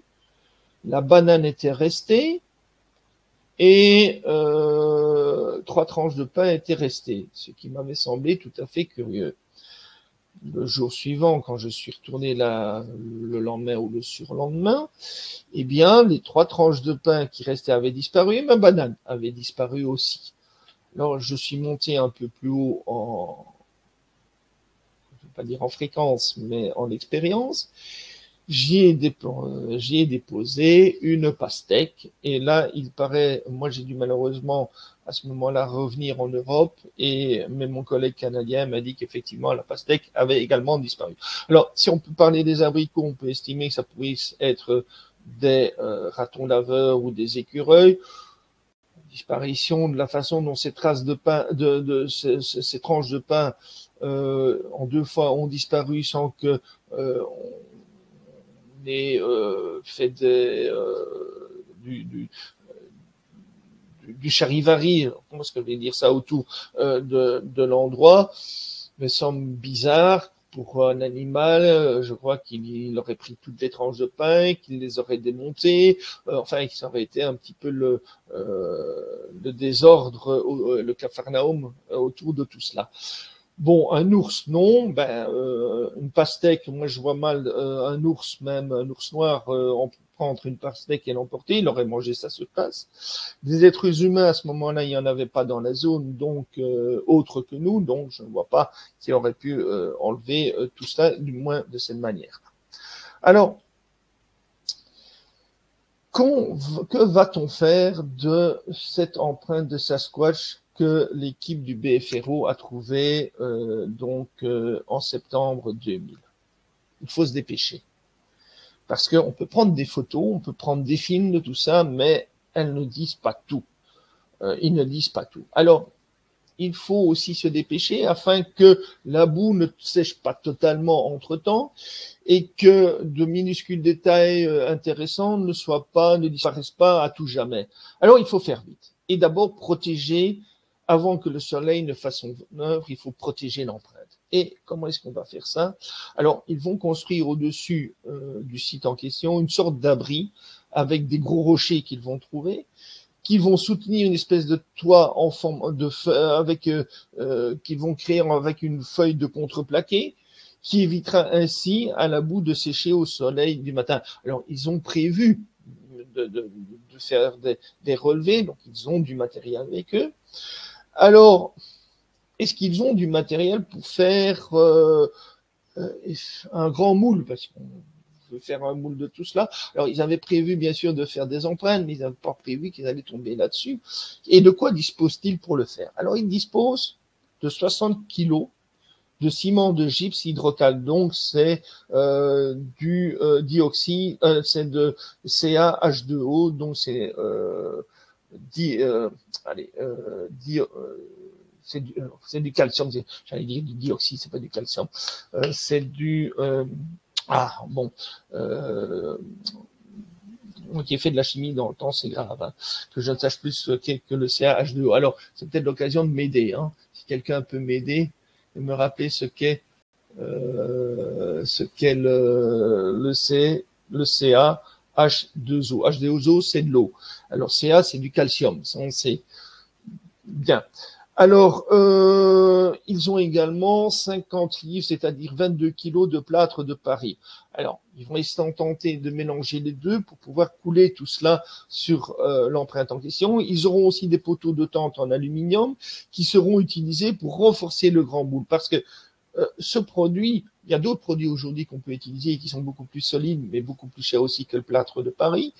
Euh, on peut renforcer une empreinte, euh, et je l'ai appris euh, à mes dépens, je vais dire, de ne pas l'avoir fait. On peut renforcer une empreinte en mettant des morceaux de bois dedans, et puis on fait une première couche, on met euh, de plâtre, on met euh, les baguettes de bois dedans et on recouvre euh, et on continue à couler. Donc ça renforce le plâtre qui est cassant, ça le renforce. Bon, ben ici, à part couper peut-être des, arbres pour le mettre dedans, ben ils ont utilisé les poteaux de leur tente, les mâts de leur tente pour renforcer le grand boule en question. Alors, comment transporter cette, une fois que cette empreinte est, est faite? Il faut l'extraire, mais il faut aussi la transporter ça pèse. Alors, euh, euh, un homme tout seul, euh, ça va être compliqué. Donc heureusement, ils sont toute une équipe, mais il faut quand même le transporter. Et comment vont-ils la transporter? Ben, Dans les, les matelas pneumatiques et les sacs de couchage qui seront utilisés pour transporter ce moulage à travers la montagne jusqu'au camion en question. Alors, le moule est coulé et il mesure à peu près un mètre sur un mètre 37 et pèsera 45 kilos c'est quand même un poids euh, et un encombrement puisqu'il il a quand même une certaine taille, qu'il n'est pas petit, c'est quand même compliqué à transporter sur une longue distance. 45 kilos, bon, euh, c'est plus ou moins lourd hein, euh, quand même. Et surtout pour le transporter, ce poids sur une longue distance. Si euh, personnellement je n'ai aucune difficulté à soulever 45 kilos, euh, bah, je ne sais pas si je pourrais le transporter euh, à bout de bras pendant plusieurs centaines de mètres, voire plusieurs kilomètres. Je n'ai jamais fait l'exprès. Alors aussi au plâtre, il y a aussi quelque chose qui vient se mettre dessus. Bah, quand on relève, quand on démoule quelque part qu'on enlève le plâtre, le moule en question, eh bien, il y a de la terre qui euh, se colle. Et la terre, on va pas euh, la gratter sur place nécessairement, on va tout emmener si on peut et euh, terminer de nettoyer le plâtre une fois arrivé au camp. Et c'est ce qu'ils font. Et ils vont le placer devant un camion. Ils vont aussi avoir l'intelligence de recueillir ou pas l'intelligence, mais l'idée de recueillir les, les épluchures et les restes de pommes qui se trouvent autour de l'empreinte, de telle manière à pouvoir éventuellement faire une analyse ADN début des années 2000, commence la possibilité de faire des recherches ADN. C'est une technique qui est quand même encore assez récente à l'époque et euh, assez coûteuse euh, également et euh, encore coûteuse à l'époque, et ils vont faire donc cette, euh, ces prélèvements des, euh, des plures et des restes de pommes afin de faire cet ADN. Je n'ai jamais eu euh, le résultat de cette analyse ADN et si jamais elle a été faite. Alors, on va me dire, oui, mais pourquoi euh, euh, ont-ils nettoyé le moule? Pourquoi n'ont-ils pas récupéré la terre? Bah, À l'époque, on n'avait pas encore mis au point ce qu'on appelle les analyses d'ADN environnementales. Aujourd'hui, je crois que ce serait intéressant de recueillir la terre euh, donc l'empreinte, la terre de l'empreinte elle-même pour faire cette analyse. Alors, euh, ce sera le lendemain. Bon, l'équipe va replier bagages. On va rentrer euh, pour euh, aller étudier en question le trophée. Et c'est le professeur Jeff Meldrum de la State University of Idaho qui se chargera de la tâche en question. Alors, Jeff Meldrum, j'ai eu l'occasion de, le rencontrer une fois, en tout cas, d'être en contact avec lui. Il devait venir aux rencontres européennes de cryptozoologie en 2020.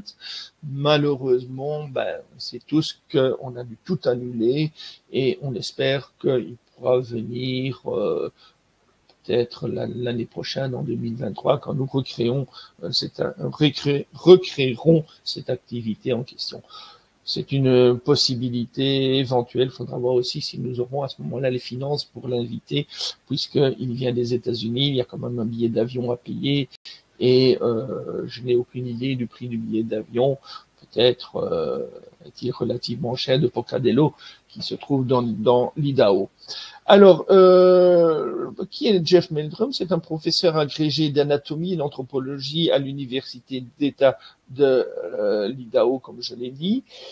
Euh, et il va euh, analyser donc euh, cette empreinte en question. Bon, ben, Jeff s'est intéressé au Sasquatch depuis 1996, 1996 pour les Français.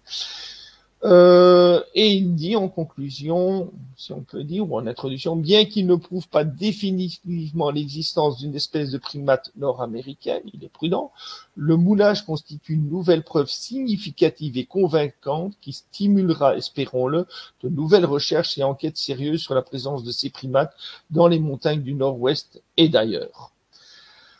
Alors, euh, il a eu l'occasion dans le passé, euh, d'étudier des empreintes de pieds, de pas, de, d'en étudier la biomécanique, d'écarter les canulars manifestes, des bonnes empreintes comme il dit, de décrire comment euh, le Bigfoot poserait son pied au sol par rapport à d'autres primates, que ce soit le chimpanzé, le bonobo ou même l'être humain.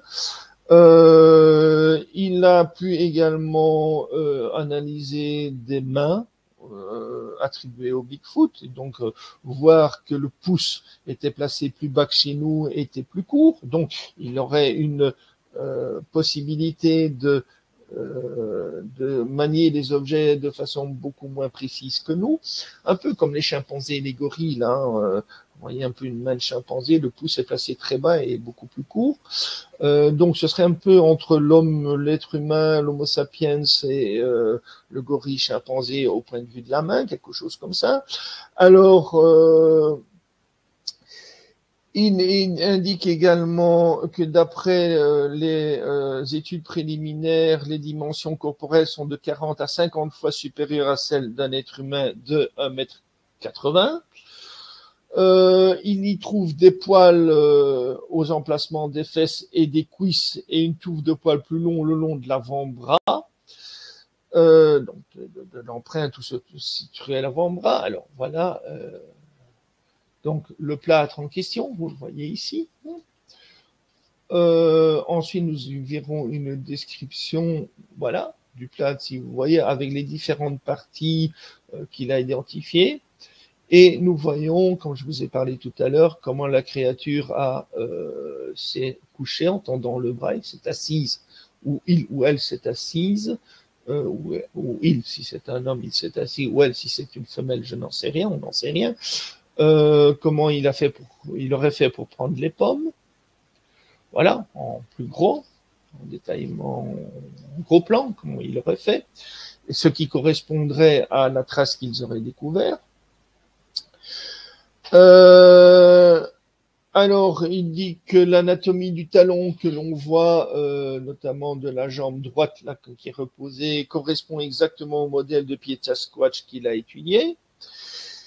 Et on a fait l'analyse de poils prélevés sur les et sur le, moulage en plâtre lui-même, qui a été examiné par le docteur Henner Fahrenbach, qui un chercheur, qui était un chercheur, il est à la retraite, en biomédecine à Beaverton dans l'Oregon, et il en a fait l'analyse, et sans surprise, il s'agit de cerfs mulets, de cerfs wapiti, de coyotes, d'ours. Et ça, on s'y attendait un petit peu, sauf un poil qui n'a pas pu déterminer si ce n'est, euh, selon lui, un poil de primate. Bon, c'est le seul poil. Je n'ai pas de nouvelles non plus jusqu'à présent, mais je pourrais interroger euh, Jeff Meldrum euh, pour savoir ce qu'en sont devenues ces analyses ADN et où euh, sont-elles. Je n'ai pas vu de communiqué à ce sujet-là. Est-ce que euh, il y a quelque chose dessous est-ce que ça n'a rien donné? Je n'en sais rien. Alors, au niveau du question de l'ADN, eh bien, en février 2013, dans le monde de, petit monde des Bigfooters, des hominologues et, et de la presse, euh, surtout américaine, une nouvelle bombe va éclater. Euh, la nouvelle bombe, c'est pas le docteur Melba Ketchum que vous voyez ici. Non, même si euh, je n'ai pas mis de photos, mais il y a des photos où on trouve sur le net où quand elle était très jeune, elle semblait être une jolie fille, mais c'est pas de cela qu'on parle ici. C'est de ça, ce qu'elle a déclaré euh, et ce que la presse a déclaré euh, à l'époque? Eh bien, la nouvelle s'est vite répandue que des analyses ADN d'échantillons valideraient la réalité du Sasquatch et euh, déclare en février 2013 euh, Melba Ketchum et son équipe qui ont publié à l'époque un communiqué de presse disant qu'ils ont la preuve que le Sasquatch existe. Alors, euh, première remarque, euh, les, euh, ceux qui étudient ça d'un petit peu plus près, euh, en question, disent qu'il y a déjà des critiques à apporter à cette déclaration. Parce que d'une part, Melba Ketchum n'est pas biologiste, elle est vétérinaire. Alors on va me dire qu'un vétérinaire a quand même fait beaucoup de biologie. Je suis d'accord et que les auteurs en question euh, sont essentiellement des gens de la police scientifique, euh, un peu le syndrome des experts, hein, les experts Las Vegas, experts Miami que l'on passe régulièrement à la TV, euh, et qu'on est un peu, un peu là-dedans, et que euh, voilà, donc ça c'est une critique. Alors euh, que l'article en question bon, a été visiblement rejeté par les revues de génétique à comité de lecture, euh, a, au point d'inciter son auteur euh, à euh, créer une revue sur Internet pour la circonstance, qu'elle a intitulée De Novo Journal Volume 1. Alors le De Novo Journal Volume 1, attendez, parce que je vois ici que, voilà, donc le De Novo Journal Volume 1 en question ben, ne possède qu'un seul article, et c'est bien sûr l'article que Ketchum a écrit. Euh, on n'est jamais aussi bien servi que par soi-même. Alors, elle est aussi la fondatrice de la société DNA Diagnostics, c'est-à-dire euh, diagnostic ADN, et s'occupe à la fois de diagnostic d'ADN humain, mais surtout euh, de génétique équine. Donc, les vétérinaires, c'est un petit peu normal qu'elles s'occupent de chevaux.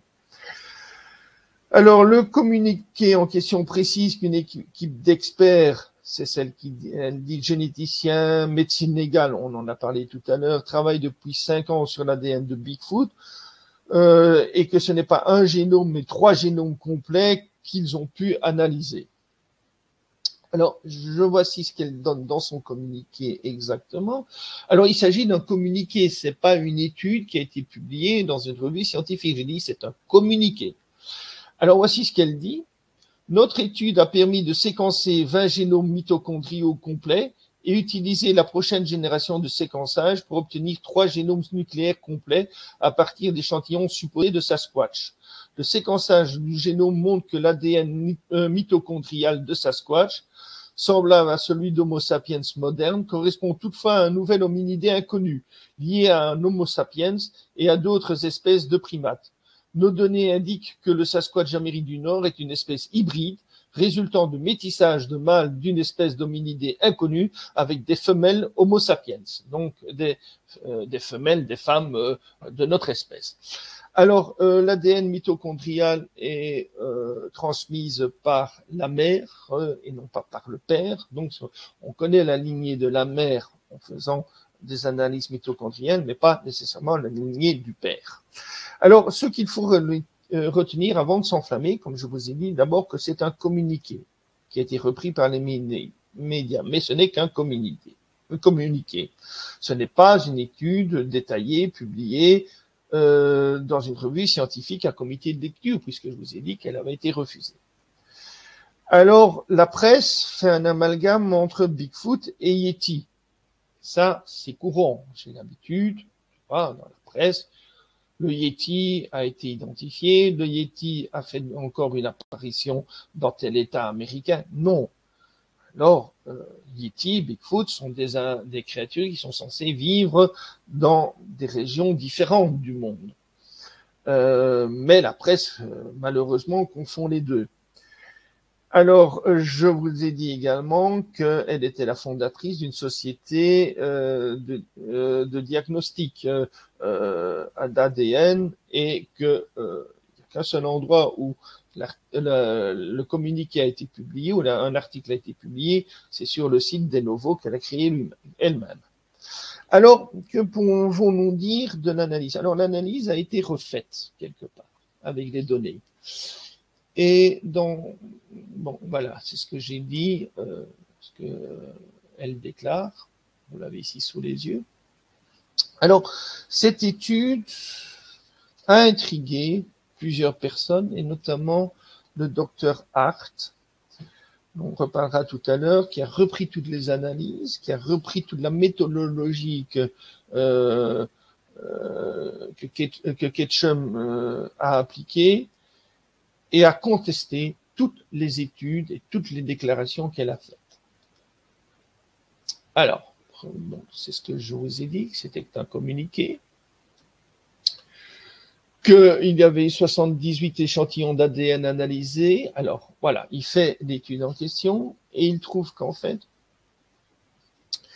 que euh, en fait, sur les 78 échantillons d'ADN analysés par Ketchum et son équipe, 10 échantillons peuvent d'emblée être considérés comme incontestablement humains. Que deux d'entre eux sont très probablement humains. Tous les autres échantillons ont trop d'anomalies et d'incohérences pour être qualifiés d'humains ou même de presque humains ou de quasi humains. Alors que Ketchum considère ces échantillons en question et les reprend comme des échantillons d'une espèce nouvelle ou d'un hominin. Donc un hominin, c'est euh, un cousin de l'hominidé dans l'arbre généalogique, peu importe, un cousin de l'homo sapiens dans l'arbre, un hominidé, donc un, nos cousins. Nous, faisons, nous sommes des hominins. Euh, l'échantillon le plus étudié est de loin le numéro S26. Probablement, euh, Ketchum va se focaliser sur cet échantillon parce que c'est celui qui était le plus complet, qui contenait le plus d'ADN en question. Et elle applique euh, donc, elle le qualifie comme appartenir, comme appartenir à un nomina, donc un, un hominidé Conclusion qu'elle a appliquée aussi à deux échantillons, qui est le, le S31 et le S40, alors que ces deux échantillons sont respectivement, d'après l'analyse du docteur Hart, humains et canins. Donc c'est un chien, le S140 est un chien, et non pas ce que prétend Ketchum. Alors, trois autres euh, laboratoires indépendants ont démontré effectivement que l'échantillon S26 sur lequel Ketchum euh, se focalise, qui a été collecté en Californie, appartiennent non pas à un hominin, comme elle le dit, mais à un ours noir, qui est le seul ours d'ailleurs qui existe encore dans cet état. Alors c'est très curieux, entre parenthèses, le drapeau californien présente un grizzly, alors qu'il n'y a plus du tout de grizzly dans le temps, il n'y a plus que euh, des ours noirs. Alors, euh, d'autres résultats sur d'autres analyses présentent qu'ils sont certainement humains, d'autres d'origine connue pour d'autres, mais euh, pas de, de quoi s'exciter. Alors, euh, et qui sont d'autres sont beaucoup plus susceptibles d'être le résultat d'une contamination suite à des manipulations sans précaution, d'une dégradation ou d'une coïncidence, par exemple. Alors, il reproche également une erreur de méthodologie, euh, des erreurs de méthodologie, comme celle de n'avoir consulté qu'une seule base de données ADN et de n'avoir pas cherché à comparer ces échantillons avec de l'ADN, euh, non pardon, et de n'avoir cherché qu'à comparer ces échantillons avec de l'ADN humain et pas avec de l'ADN d'autres animaux et en particulier d'autres primates. Euh, animaux et primates qui étaient absentes de la base de données qui est à consulter. Euh, alors qu'il existe d'autres bases de données, notamment qui, euh, dans laquelle il y a de l'ours noir, il y a de l'ours polaire, etc. Mais dans la base qu'elle a consultée, est une base où il y a essentiellement euh, il y a de l'ADN humain, de différents groupes humains, et non pas d'autres animaux, ou du moins à l'époque n'était pas complète concernant les autres animaux. Donc il faut toujours résister en conclusion à la tentation qu'on a affaire à une nouvelle espèce sur la base de résultats ambigus, contradictoires, comme l'ont fait Ketchum et son équipe. C'est ce que dit. Euh, alors, en conclusion, mis à part euh, des arguments d'autorité, oui, mais euh, j'étais avec des scientifiques, des conflits d'intérêts, puisque je vous ai dit qu'elle était aussi quelqu'un qui s'occupait de génétique animale de chevaux euh, eh bien, qui entacherait n'importe quel article dit sérieux. Le contenu et les conclusions laissent pour le moins songeur, pour ne pas dire totalement incrédule. L'ADN des mitochondries étant typiquement humain et provenant d'une dizaine de groupes ethniques différents, la conclusion la plus logique serait de présumer que les échantillons sont effectivement humains, pas de, simples poils humains, par exemple, et qu'ils ont été contaminés par différentes personnes les ayant manipulés. Or, Ketchum et ses associés font l'hypothèse invraisemblable d'une hybridation entre un singe inconnu et un Homo sapiens et qu'en bref, euh, tout cela est une belle promo pour son site et pour euh, son euh, et pour son site et pour son laboratoire qui vend des études ADN et qui recherche de la détection de maladies pour les chevaux à travers l'ADN. Voilà. Et donc, vais conclure là-dessus en disant que toute cette étude, c'est beaucoup de bruit pour rien, comme dirait William Shakespeare. Alors, on va non pas clôturer la soirée, mais on va clôturer euh, notre histoire, euh, notre histoire du Bigfoot ici. Alors, je n'ai pas parlé, c'est vrai, j'y pense maintenant, je n'ai pas parlé du fameux euh, homme congelé découvert par Sanderson, Ivan Sanderson, que vous commencez à connaître, et Bernard Heuvelmans en 1968 et je n'en ai pas parlé, mais j'en parlerai peut-être une prochaine fois parce que c'est encore une histoire qui a fait couler de l'encre à l'époque, qui a aussi apporté son lot de critiques et d'analyses et euh, son aventure presque euh, policière. On devrait peut-être en faire un film un jour, si quelqu'un a une idée de faire un film là-dessus. Je crois que ça vaut le coup. Alors, je voudrais ici voir s'il y a des questions. Non euh, est-ce que vous êtes encore tous là? Euh, Ouais, à peu près. Il y en a un qui a dû nous quitter. Voilà, monohydroxyde de calcium, c'est un H2O. Effectivement, je ne revenais plus là-dessus. L'hydroxyde, oui, euh, monohydroxyde de calcium. Effectivement, donc c'est du, donc c'est le fameux hydrocal qu'ils ont utilisé. Donc, y a-t-il des questions concernant ce que j'ai euh, présenté jusqu'à présent? Dites-moi. Je vous laisse. Alors, je vois que euh, normalement à côté, vous avez euh, une partie du chat, questions et réponses seulement. Vous pouvez le poser là-dedans, peut-être même dans le chat, c'est comme vous voulez si vous en avez. Sinon, je vais passer à la deuxième phase de euh, ceci.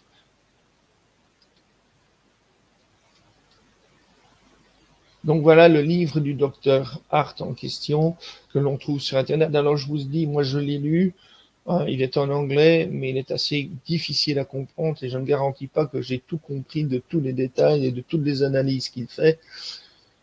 Euh, le film de Patterson est-il toujours étudié aujourd'hui? Euh, Pas à ma connaissance. La deuxième fois qu'il a, la dernière fois à ma connaissance qu'il a été étudié a été en 2003 et publié notamment. Moi, j'ai un DVD sur le sujet où on voit ce film, euh, toute l'analyse en question. Euh, je ne sais pas s'il y a moyen de le diffuser euh, directement, mais moi, j'ose pas pour des histoires de droits d'auteur. Euh, alors, si le docteur Meldrum vient l'année prochaine, eh bien, je lui demanderai voir si on peut le diffuser, puisque il en est l'auteur. Alors, il a écrit un bouquin à côté aussi, c'est euh, Sasquatch Legends Meet Science. Euh, et donc euh, là, Legends Meet Science. Donc à ce moment-là, euh, il décrit tout cela en détail. C'est un livre en anglais. Il est encore trouvable sur euh, Amazon. Moi, je l'ai acheté en Californie quand j'ai rencontré Meldrum, parce qu'en 2003, j'ai été à un colloque là-bas en Californie, première fois que j'allais aux États-Unis, avec mon ami Benoît. Et euh, ben, j'en ai profité pour acheter et le DVD euh, qui accompagnait le livre en question. Alors, euh, non, cette étude-là du, euh, du, docteur Hart, qui n'était pas généticien à la base, qui n'est toujours pas, donc il a dû s'y plonger à fond. Il a mis sept ans pour analyser, travailler tout ça, essayer de comprendre euh, toute la génétique. Alors, il, il explique dès le départ du livre en disant, bon, ok, on va vous prendre par la main, vous n'êtes pas des généticiens, peut-être vous n'y connaissez pas rien, on va essayer de vous expliquer. Alors, c'est en anglais. Euh, je crois qu'il serait plus facile pour nous francophones d'avoir une traduction française, française parce que peut-être que certains termes pourraient être ambigus en français en question. Euh, comme ça arrive parfois, il y a des termes qui sont parfois ambigus d'une langue ou l'autre, qui peuvent avoir plusieurs traductions. Et ça peut nous conduire sur, non, mais je comprends rien sur cette phrase, ça veut rien dire, oui, parce qu'on n'a pas la bonne traduction. Euh, c'est tout. Bon, voilà. Je vais me renseigner effectivement. Je vais demander, tiens, voilà beaucoup de questions que je pourrais poser au docteur Meldrum dans un mail si le film est encore étudié aujourd'hui. Alors, je note, film est-il encore étudié? Voilà. Je pose aussi la question, qu'est- que sont, de- sont devenus, je prends note, hein, sont devenues les analyses ADN du Skookum. Voilà, j'ai posé la question, je vais lui poser la question en question. Euh, bien. Alors, euh, quoi? Encore d'autres? Voilà. Ma, petite fin ici, c'est pas la fin de la, c'est la fin de la conférence. Maintenant, la deuxième partie, euh, voilà, ce sera la deuxième partie par la suite que je vais vous présenter directement et voilà, on va mettre. Alors, je vois qu'il n'y a pas de questions précises d'autres, non? Vous êtes encore presque tous là? Ouais, presque. Donc, voilà. Euh, deuxième partie, ben voilà, est-ce que d'entre vous, certains désireraient nous accompagner à notre prochaine expédition euh, en Colombie-Britannique, que ce sera du 15 août au 30 ou 31 août. Je crois qu'on revient le 31 août, donc une quinzaine de jours sur le terrain. Et euh, donc, attendez, je vais revenir en arrière. Voilà. Et donc, euh, on va peut-être vous expliquer comment ça, ça va se dérouler pour ceux qui n'étaient pas là la semaine passée. Enfin, oui, je vais peut-être lancer l'autre présentation. Voilà. Voilà. Donc, j'ai une proposition passionnante à vous faire, c'est de me m'accompagner euh, ou de nous accompagner plus exactement sur le terrain euh, donc au mois de juin. La première chose, vous deviendrez membre du Sasquatch Expedition, Sasquatch Safari, les deux étant mêlés, et euh, on espère que cette expédition fera date et entrera dans l'histoire des sciences comme est entré euh, visiblement euh, le Skookumcast dont on vient de parler. Alors, peut-être aurons-nous la chance euh, de trouver la même chose, voire mieux. C'est ce que nous essaierons de faire, comme j'ai essayé de faire ces 15 dernières années, quelque part, depuis 2005. Alors, donc, c'est ce que je vous dis, ça fera date dans l'histoire. Vous pourrez rejoindre un groupe de 8 personnes maximum. Alors, si on est 4, si on est 5, c'est déjà pas mal. Et euh, pour vivre une aventure un peu comme celle du Skookumcast en question, euh, c'était toute une équipe, ils étaient beaucoup plus nombreux que ce que je désire, parce que je me dis quand on est trop sur place, ça devient problématique à gérer.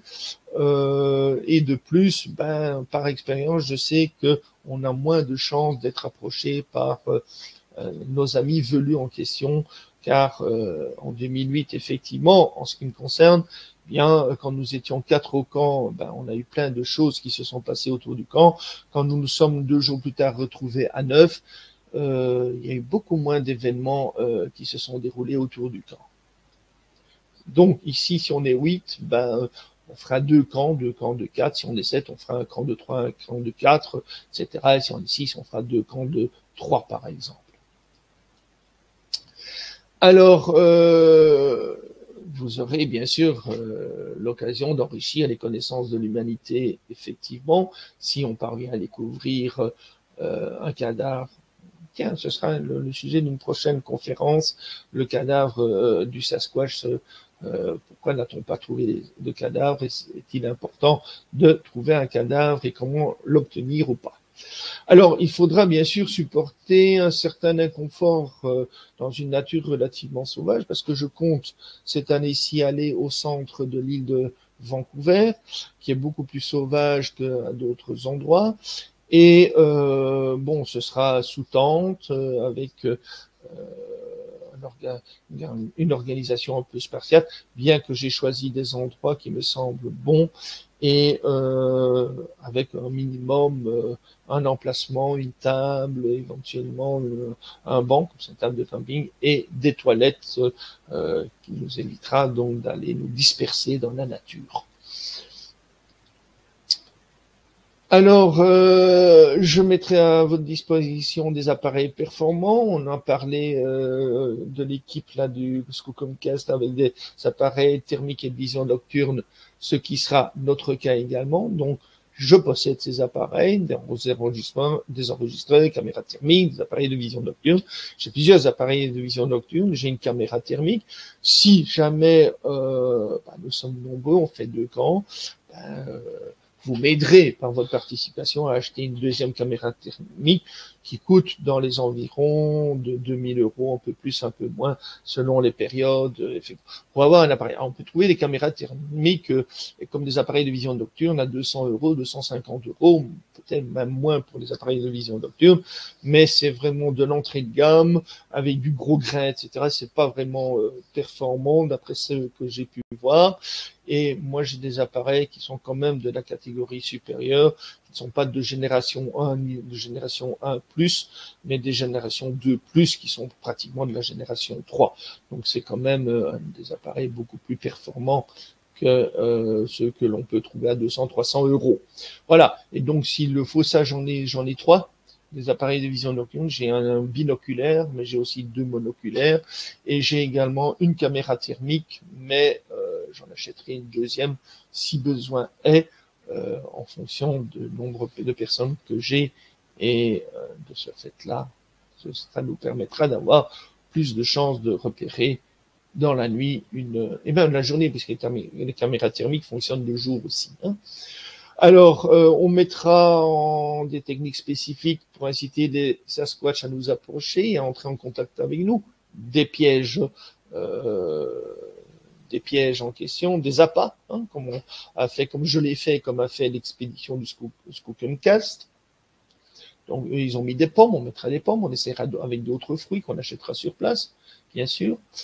Alors donc, comme je vous ai dit, euh, c'est de démontrer l'existence sans aucune équivoque du Bigfoot grâce à notre matériel espérant qu'on y arrive. Bien sûr, quand on va dans la nature, moi je peux pas vous promettre qu'on verra un Bigfoot. Euh, on n'est pas dans euh, au Serengeti, on n'est pas dans une réserve naturelle africaine où on a nourri le lion deux heures avant et qu'on arrive à 20 dans un minibus à photographier le même lion en train de digérer au pied d'un arbre. Ce n'est pas du tout ça le cas. Donc moi ce que je peux vous garantir, c'est qu'on vivra des choses tout à fait exceptionnelles, mais je vois que mes langues sont en train de pouf de, de disparaître, mais c'est pas grave. Euh, donc euh, voilà. Euh, donc euh, il y a, euh, je peux pas vous garantir ça, mais on fera le tour. Et moi j'ai vécu des choses, comme je vous dis que, alors pourquoi ne pas ne pourra-t-on pas retrouver des empreintes de pieds comme je l'ai fait, entendre des, coups dans les arbres, sur les arbres, les enregistrer, des cris, etc. Ce que j'ai vécu. Donc, ça, c'est tout à fait possible, mais je peux pas vous garantir qu'on ira serrer la paluche à un Bigfoot. Mais on ne sait jamais. Alors, euh, j'aimerais bien que euh, peut-être qu'avec vous, ceux qui viendront avec moi, ben, on puisse euh, le faire d'une année à une autre, d'une année sur une autre, et de créer comme ça une espèce de lieu, de centre permanent. C'était un souhait également de Marie-Jeanne Kaufmann. On disait, ah, si on pouvait créer un centre de recherche en minologie, bon, ça ne s'est pas encore fait, ça ne s'est pas fait, il faut des moyens, et euh, bon Dieu, euh, il faut trouver des moyens, ne fût-ce que peut-être que pour acheter euh euh, une maison là-bas. Euh, il y a encore possibilité, paraît-il, en Colombie-Britannique, ce qui n'est pas vrai partout au Canada, mais là, euh, des étrangers peuvent encore acheter des biens, ce qui n'est pas toujours vrai, et euh, paraît-il, et que donc on pourrait peut-être créer un centre là-bas, acheter une maison, une petite cabane ou n'importe quoi et créer un centre. Alors, euh, je sais très bien que ces maisons au Canada, il y a un étage supérieur qui est, et il y a souvent un soubassement euh, qui ne sont pas des caves comme chez nous, pas nécessairement, où on peut euh, créer aussi ce qui correspond chez nous à un étage. Mais là, c'est inverse. Vous voyez, c'est un peu comme chez nous une maison renversée. Et donc, on pourrait éventuellement louer euh, l'année, on pourrait louer euh, au moment où on n'occupe pas, on pourrait louer cela à des gens et puis euh, bon, ben, occuper une partie de, de, de la maison quand nous y sommes peut-être, pourquoi pas créer un centre permanent avec quelqu'un qui serait de l'équipe à demeure, là, ou des personnes qui pourraient accueillir des équipes. Mais ça, c'est un peu un rêve, qui pourrait peut-être se réaliser un jour.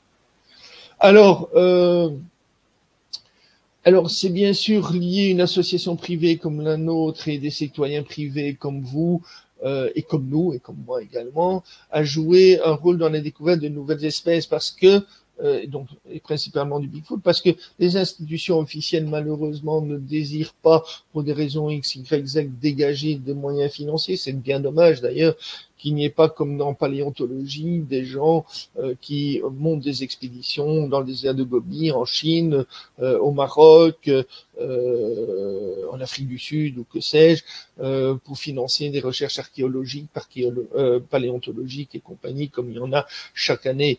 Malheureusement, pour le Sasquatch, il n'y a pas encore ce genre de truc, que ce soit chez nous, bien sûr, mais aux États-Unis également, il n'y a rien d'officiel qui est fait que euh, plutôt des gens quand on viendrait leur dire ah mais je voudrais monter, on vit un peu au nez malheureusement pour toutes sortes de raisons sur lesquelles peut-être un jour nous reviendrons aussi. Alors, euh, alors ça peut être aussi une possibilité de secouer un petit peu des ONG comme le WWF ou l'UICN, euh, l'Union internationale de conservation de la nature, en disant bon ben voilà, il y a une espèce qu'on ne connaît pas, il est peut-être temps de l'étudier, on a suffisamment d'éléments et de preuves pour dire que ok, il serait bon peut-être de l'étudier, mais il serait temps aussi de la protéger et de protéger de ce fait-là toute la zone. Je crois qu'aujourd'hui, c'est important, ce serait vraiment une, découverte et ce serait vraiment une avancée importante, le fisc dans la protection de la biodiversité, parce que on ne protège pas qu'une seule espèce, elle-même toute seule, on protège son environnement, c'est-à-dire ses proies, qu'elles soient végétales ou qu'elle soit animale, sont protégées aussi. Et tout l'environnement, tout son habitat est protégé aussi. on l'a fait avec la découverte du Saola en, 93, euh, où la zone au Vietnam où cette chèvre antilope a été découverte, eh bien, a été protégée. On a mieux, on a étendu euh, les superficies de la zone du parc naturel et on a mieux armé et engagé de nouveaux gardes et on les a mieux armés. Alors c'est toujours la même chose, même en Afrique, dans les réserves naturelles, ben, qu'est-ce qu'on fait? Ben, euh, Aujourd'hui, grâce à l'apport des touristes, grâce à l'apport des safaris, ça permet d'engager des gardes et ça permet de les armer mieux contre le braconnage. Euh, qui, comme on sait, euh, sévit en Afrique sur l'éléphant, comme on le sait et le gorille aussi. Et doit être protégé. Donc en Afrique, on peut faire la même chose. Alors c'est aussi, bon, maintenant j'en ai déjà parlé, une façon de prendre par des espèces emblématiques comme le Bigfoot, comme d'autres, etc., pourrait aussi euh, faire une prise de conscience dans la population, dans la population de protéger la nature et la biodiversité. Mais là, euh, euh, Thunberg, je crois en pourra déjà. Quand j'ai écrit ça, il n'y avait pas encore Greta Thunberg et compagnie, mais ce serait un incitant supplémentaire en disant ben, voilà bougez-vous bougez-vous les gars il est temps euh, voilà et donc ça apporterait à tous ces, gens qui euh, Greenpeace euh, Greta Thunberg euh, Sea Shepherd et compagnie qui Sea Shepherd est une espèce d'organisation privée qui a combattu et combat encore notamment les baleiniers euh, sur certains, certains océans. Alors, prochain safari, euh, qui va nous accompagner? Alors, il y a d'abord moi-même, bien sûr, qui va vous accompagner. Comme je vous ai dit, j'ai quelque chose comme 15 expéditions en Amérique. Je suis guide nature, j'ai une formation de guide accompagnateur en randonnée et je vous mènerai sur les traces du Bigfoot Squatch en euh, vu l'expérience que j'ai acquise ces 15 dernières années. Alors, il y aura mon ami Thierry aussi, qui est un Belge et militaire de carrière, euh, militaire d'active. Il a été mon, formateur euh, comme guide de randonnée. Il est lui-même guide de randonnée. Il est guide nature aussi. Et bah, sur place, il nous travaillera, nous ça initiera à l'orientation et à la survie en forêt. Alors, orientation avec boussole, carte, GPS et compagnie, parce que rien ne ressemble plus à un arbre qu'à un autre arbre, et je vous garantis qu'il y a moyen de se perdre. Ça m'est arrivé, heureusement, de me perdre dans une zone où il n'y avait pas de grande chance que je disparaisse à jamais. Euh, je savais comment retrouver une, une zone peuplée, c'est pas ça, mais euh, j'étais parti un jour pour aller une heure et demie pour aller relever des structures que j'avais trouvées dans la forêt, parce que le Sasquatch fait des structures aussi, des croix et compagnie. Euh, et euh, j'étais parti pour cela, et puis je m'étais un petit peu j'avais placé un piège optique et puis j'avais dit tiens voilà il y a un guet ici je vais traverser le guet je vais aller voir de l'autre côté ce qui se passe ce que j'ai fait j'ai trouvé des lieux tout à fait formidables euh, on se serait cru dans un, un film euh, un conte de fées là un film de conte de fées euh, il y avait des arbres autour, il y avait de la mousse, il y avait des fleurs, c'était vraiment génial. Et quand je suis revenu, ben, je me suis perdu. Je n'ai plus pu retrouver l'endroit d'où j'étais parti. Et euh, j'ai crapahuté dans la forêt. Avant de revenir à mon haut camp, j'ai crapahuté pendant une heure. Alors je vous dis, quand l'heure passe, le jour avance et qu'on n'a qu'un un, paquet de biscuits et une canette de, de soda avec soi, euh, bon, il y a de l'eau, c'est pas ça, mais on et qu'on n'a pas d'équipement même pour passer la nuit et on se dit est-ce que je vais devoir passer la nuit en forêt? Euh, J'ai pas d'équipement pratiquement, qu'est-ce que je vais faire? Et heureusement, j'ai pu me retrouver à un endroit que je connaissais subitement, avoir des repères euh, que je connaissais et, et, retrouver le camp avec grand bonheur. Euh, J'étais parti vers 11 heures du matin, je suis revenu, il était 5 heures et demie, euh, voilà, je m'étais perdu pendant 8 heures à traverser la forêt. Donc, il vaut mieux avoir une boussole. Et je je sais même pas si j'avais pris une boussole avec moi, puisque j'allais à côté du camp, je savais où j'allais, euh, j'avais pas l'intention de me perdre euh, à ce moment-là, donc j'avais pris le strict minimum. Hein. J'allais quoi à un kilomètre du camp, c'était vraiment pas loin. Euh, ma destination et pourtant j'ai quand même réussi à me perdre. Alors, le deuxième qui sera avec nous, ce sera un zoologiste euh, que je ne connais pas, je ne l'ai jamais eu, c'est la première fois qu'il vient, j'ai beaucoup de contacts avec lui. Il est cinéaste, et vidéaste animalier confirmé, il a fait plusieurs films, dont un film sur les ours de Slovène, je crois qu'il a même gagné un prix à ce niveau-là. Alors, il travaillera là, il sera responsable de la prise de vue et de son. Et euh, il vous initiera donc euh, au milieu euh, à la prise de soins en milieu naturel, au relevé d'indices matériels aussi, et de plus, bah, il vous apprendra à faire des affûts notamment, il pourra faire des affûts nocturnes, ça c'est déjà des choses, et il nous apprendra à monter tout ça. Enfin, il prendra aussi toutes les vidéos et les photos de l'expédition. Alors, un programme type, tiens, je vais vous annoncer un programme type. Le premier jour, ben, quand on, au Skookum, ben, on arrivera. Euh, là, je, on se donnera rendez-vous à l'aéroport de Vancouver. Hein, et on récupérera le 4x4 et on passera, je crois, d'après, comme les horaires des avions, ça change un petit peu d'une année à l'autre et d'un moment à l'autre. Alors parfois, on est, moi, je suis arrivé parfois à midi, mais ah, mais euh, cette fois-ci, je vois qu'on arrive tard le soir, à 22h, 22h40. Donc, on n'ira pas louer notre 4 4x4 à ce moment-là, euh, notre SUV à ce moment-là, on ira loger, c'est le lendemain matin qu'on récupérera le 4x4. Donc ce que je vais vous donner ici, c'est un exemple type, c'est pas c'est pas une garantie que ça va se dérouler tout à fait comme ça. Hein. Alors, on ira vers l'île de Vancouver et là on fera l'achat du matériel complémentaire, comme des piles par exemple, des euh, du gaz pour les réchauds, chose que l'on ne peut pas transporter en avion, et euh, on, la nourriture, bien sûr, pour plusieurs jours qu'on achètera. S'il manque euh, l'un ou l'autre appareil, ben pourquoi pas. Euh, si moi je dis tiens, ben voilà, je ferais bien, ah ben je trouve ça, ce serait intéressant, ben voilà, je, je l'achèterai.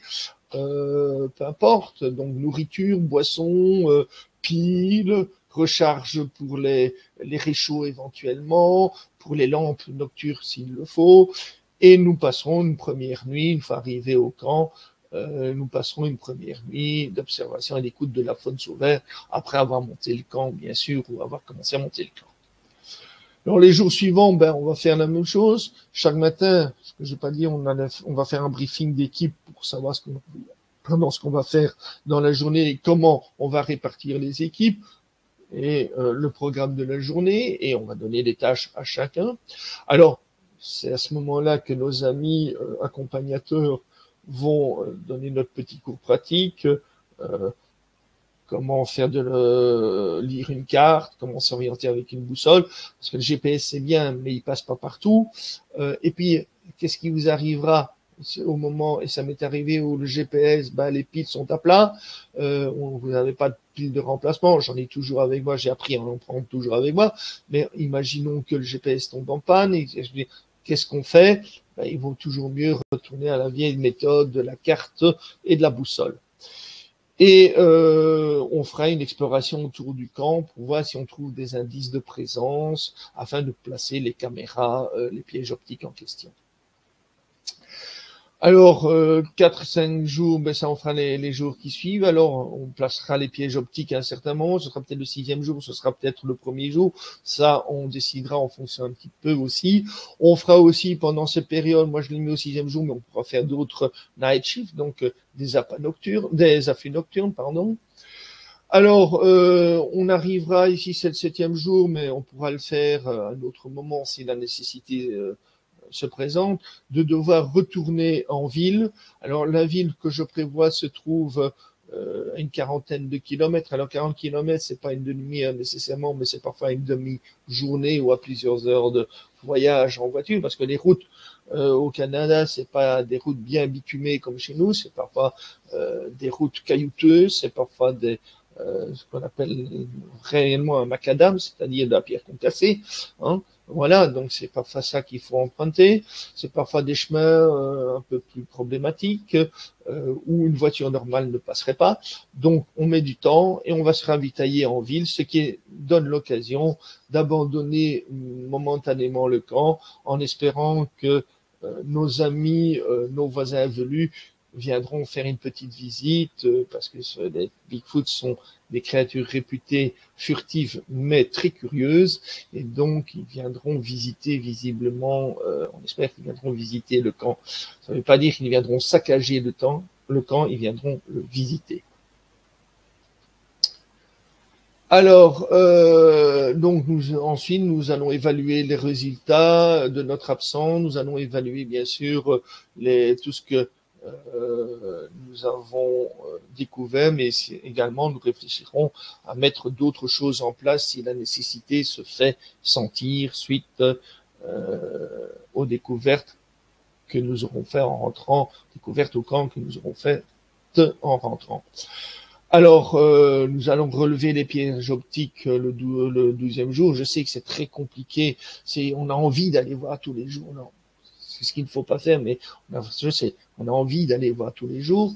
Donc, euh, nous allons relever les pièges optiques. Nous allons les regarder. C'est parfois très long, plusieurs heures de film à ne rien voir. C'est peut-être beaucoup. Euh, on verra peut-être d'autres animaux qui ne sont pas prévus. Alors, j'ai vu un reportage sur les chimpanzés récemment euh, d'une zoologiste belge qui a trouvé une nouvelle population de chimpanzés au Congo, Congo, République démocratique du Congo, et dans à l'est du Congo, et elle a placé des pièges optiques. Et elle a eu toutes sortes d'animaux qui sont passés, des genettes, euh, euh d'autres singes, ils sont, euh, des antilopes sont passés, des gazelles sont enfin toutes sortes d'animaux sont passés. Je crois qu'il y a même eu euh, du facochère qui, qui sont venus qui sont venus dire bonjour. Et finalement, ils ont quand même pu capter euh, des chimpanzés. Alors voilà, il y aura peut-être pas que du Bigfoot, il y aura peut-être d'autres animaux. C'est toujours important de savoir quelle est la faune de l'endroit. Ça, c'est toujours important parce qu'on sait aussi, comme le Bigfoot est omnivore, on peut aussi savoir quelles sont les proies euh, potentielles euh, et le, type de proie potentiel qui peut qui peut être présent, mais aussi les carnivores. Si on va arriver filmer un puma, c'est très rare de voir un puma. Ben, on pourrait voir un puma, par exemple, passer devant la caméra, venir se servir des appâts qu'on aura mis, qu'on aura mis éventuellement. Euh, bien que le puma, je crois que les pommes, ça ne doit pas l'intéresser beaucoup. Euh, quoique, hein. Voilà. Alors, euh, on démontrera le con l'avant-dernier jour et on retournera vers Vancouver. On remettra euh, les véhicules, soit on passera la nuit à Vancouver, soit déjà on passera une première nuit euh, encore sur l'île de Vancouver avant de rentrer. Euh, la ville de Vancouver est sur le continent. L'île de Vancouver n'est pas l'île sur laquelle se trouve la ville de la ville de Vancouver. Vous voyez ce que je veux dire un petit peu? Donc donc nous passerons peut-être la dernière nuit, l'avant-dernière nuit sur l'île de Vancouver dans un motel par exemple ou dans un hôtel question de prendre enfin quelque chose qui ressemble un peu à un lit euh, et de manger quelque chose un petit peu, euh, voilà, retour à la civilisation progressive. On repassera avec le ferry sur euh, sur le continent pour aller à Vancouver, où on laissera le véhicule. Normalement, on devrait passer une dernière nuit là-bas à Vancouver. Le lendemain matin, on prend le vol de, de l'avion vers, euh, vers 11h, je crois c'est 11h25 et euh, à moins que les horaires changent d'ici là. Et le lendemain, on sera de retour euh, en Europe, euh, question du 15e jour à peu près. Alors, au retour d'expédition, ben, je vous offrirai euh, un certificat encadré qui euh, vous annoncera que vous avez participé à une Sasquatch Expedition 2022 et que voilà euh, un, certificat encadré honorifique. Vous serez invité à la prochaine édition des rencontres européennes de cryptozoologie. Vous serez invité gratuitement. Donc, ça, c'est déjà une bonne économie à faire. Euh, donc, en 2023, s'il a lieu, j'espère. Donc, je vous ai dit, j'espérais le monter pour euh, euh, le printemps 2023. On verra si on peut le faire. Ensuite, ben, euh, vous serez bien sûr informé de la suite des analyses ADN si on a l'occasion de le faire. Et si on a l'occasion de remonter une expédition, ben, vous serez invité. Si on fait des conférences suite à cette grande aventure, vous serez averti, invité aussi, et vous aurez accès aux informations qu'on aura trouvées à vie, je vais dire, à ce niveau-là. Alors, euh, vous aurez bien sûr une expérience unique dans votre vie, comme moi je l'ai vécu, euh, avec plein de souvenirs à raconter, comme je l'ai fait moi-même. Euh, et puis, ce sera une déconnexion aussi par rapport à notre monde actuel, et on en a bien besoin par rapport à tout ce que nous vivons euh, pour le moment, en espérant que euh, la guerre avec que nous mène notre ami Poutine ne va pas nous créer un problème pour partir au mois d'août. Euh, ça, nous ne pouvons absolument pas le savoir. Alors, oui, pour accéder au, au, Canada, pour l'instant, les règles se sont assouplies.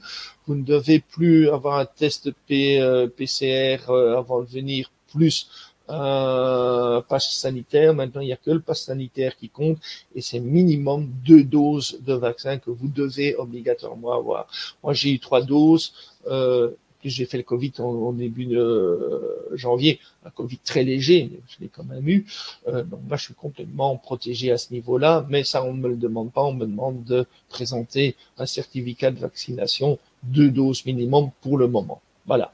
Alors, vous devrez aussi euh, acquérir, mais ça, c'est une formalité, c'est vite fait, ça met cinq minutes, une autorisation de circuler sur le territoire canadien. Ça coûte 7 dollars canadiens, c'est-à-dire 5 euros, et c'est valable euh, 5 ans. Donc, euh, ça, vous devrez, on vous le dira d'ailleurs, hein, on, le dit, on, le dit au moment de prendre le billet d'avion, attention, vous avez besoin de cela.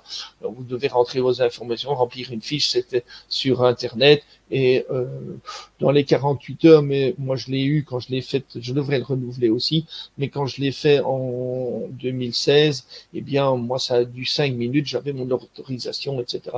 Je vous avoue tout de suite que cette autorisation ne m'a jamais été demandée. Je l'avais sur moi, j'en avais même plusieurs exemplaires au cas où j'en perdrais un ou bien j'en abîmerais un. Personne ne m'a jamais rien demandé. Quand je suis arrivé à Vancouver, euh, il y avait une borne, maintenant c'était des bornes, avant, c'était, on devait passer un guichet avec un, policier des frontières qui vous posait quelques questions euh, bidons, c'est toujours les mêmes. Euh, pourquoi vous venez? Est-ce que vous connaissez quelqu'un? Où allez-vous? Ben, oui, ben ça c'est pas c'est pas compliqué de, leur répondre. Mais maintenant, ce sont des bornes où vous devez passer votre passeport, etc. Enfin bon, euh, euh, et il y a toujours quelqu'un qui vient vous aider. Vous pouvez, l'avantage c'est que vous pouvez choisir la langue anglais ou français puisque le, le Canada euh, est bilingue. Donc ça c'est déjà facile. Et ensuite on vous dit ce que vous devez faire pas à pas. Et si ça va pas, ben si vous avez un problème, il y a toujours quelqu'un qui euh, qui vient vous expliquer à ce moment-là. Bon, donc ça c'est pas trop compliqué. Euh, un peu embêtant, mais pas trop compliqué. Et je trouve euh, le défaut, c'est que ça met en général plus de temps que de passer devant un guichet avec le gars qui vérifie votre passeport et vous mettre le tampon dessus, quoi, en disant OK, vous pouvez passer. Alors, euh, c'est vrai que vous aurez une formation complète pour monter vos propres expéditions si vous le désirez. Et euh, je vous demande une chose, c'est de tirer le meilleur parti des connaissances que vous aurez acquises et que grâce à votre expérience, vous deviendrez un défenseur actif de la recherche de Bigfoot euh, et d'espèces encore non définies. Voilà, c'est la seule responsabilité que je vous demande et qui n'est pas trop lourde. Alors, que comprend le montant de votre participation? Si vous décidez de m'accompagner Eh bien, D'abord, comme je vous ai dit, il faut louer un ou des 4 x 4. Des 4 4, ça dépend. En Belgique, on dit 4 x 4. Je sais qu'en France, ils disent 4 4. Mais enfin, bon.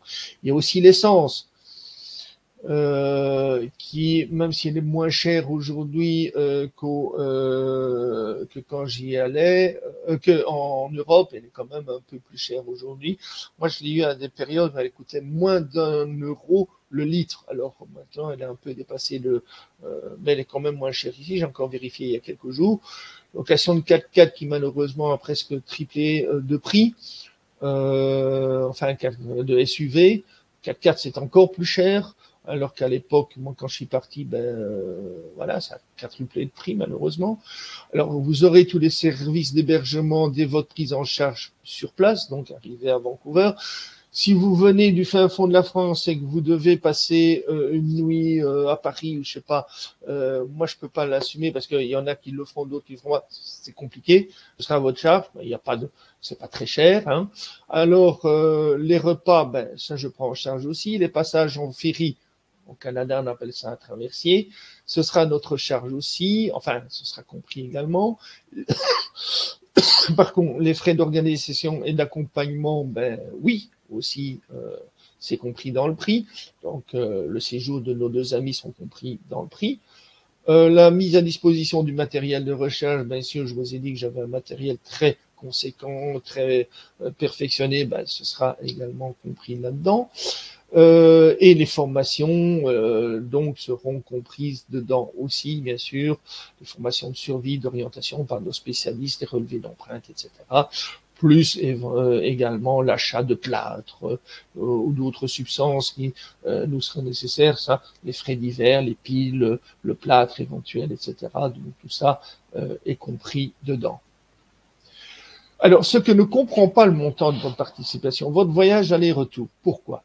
Parce que euh, les tarifs peuvent différer d'un moment euh, à l'autre. Donc, si vous le prenez aujourd'hui et que moi je le prends demain, on n'a peut-être pas le même tarif, donc je peux pas voir à ce niveau-là. Si vous partez de Paris, euh, ce sera peut-être un tarif. Si moi j'ai l'intention de partir d'Amsterdam, euh, moi de partir de Belgique, de partir à Amsterdam ou partir de Paris euh, Charles de Gaulle, c'est exactement la même distance, mais euh, il y a une différence de prix. Donc euh, je partirai d'Amsterdam, c'est un peu moins cher. alors ça, ce sera à votre charge puisque je ne peux pas le faire moi-même. Je ne peux pas savoir non plus si vous désirez partir la veille. moi, je vous dis, je vous prends en charge euh, à un moment donné à votre arrivée à Vancouver, mais je ne sais pas quand vous arrivez. Ça dépendra de la compagnie que vous prendrez. Moi, je prends Air Transat. C'est euh, depuis toujours. Je crois que pour moi, c'est la compagnie la moins chère, mais et, qui euh, équivaut aux autres également. Alors, l'assurance voyage individuelle, ça, je peux pas la prendre pour vous non plus, bien sûr, puisqu'elle est individuelle. C'est une full option. Là, soit vous le prenez euh, à votre mutuelle ou à votre banque, ou vous la prenez sur en ligne. Euh, au moment de la prise du billet d'avion, il y a une, euh, je crois que c'est euh, quelle compagnie encore qui propose une, une assurance à ce niveau-là? Euh, je réfléchis, je l'ai sur le bout de la langue, mais enfin tant pis, ça vous sera proposé. Euh, votre autorisation de circuler sur le territoire canadien, ça je peux pas la prendre pour vous non plus.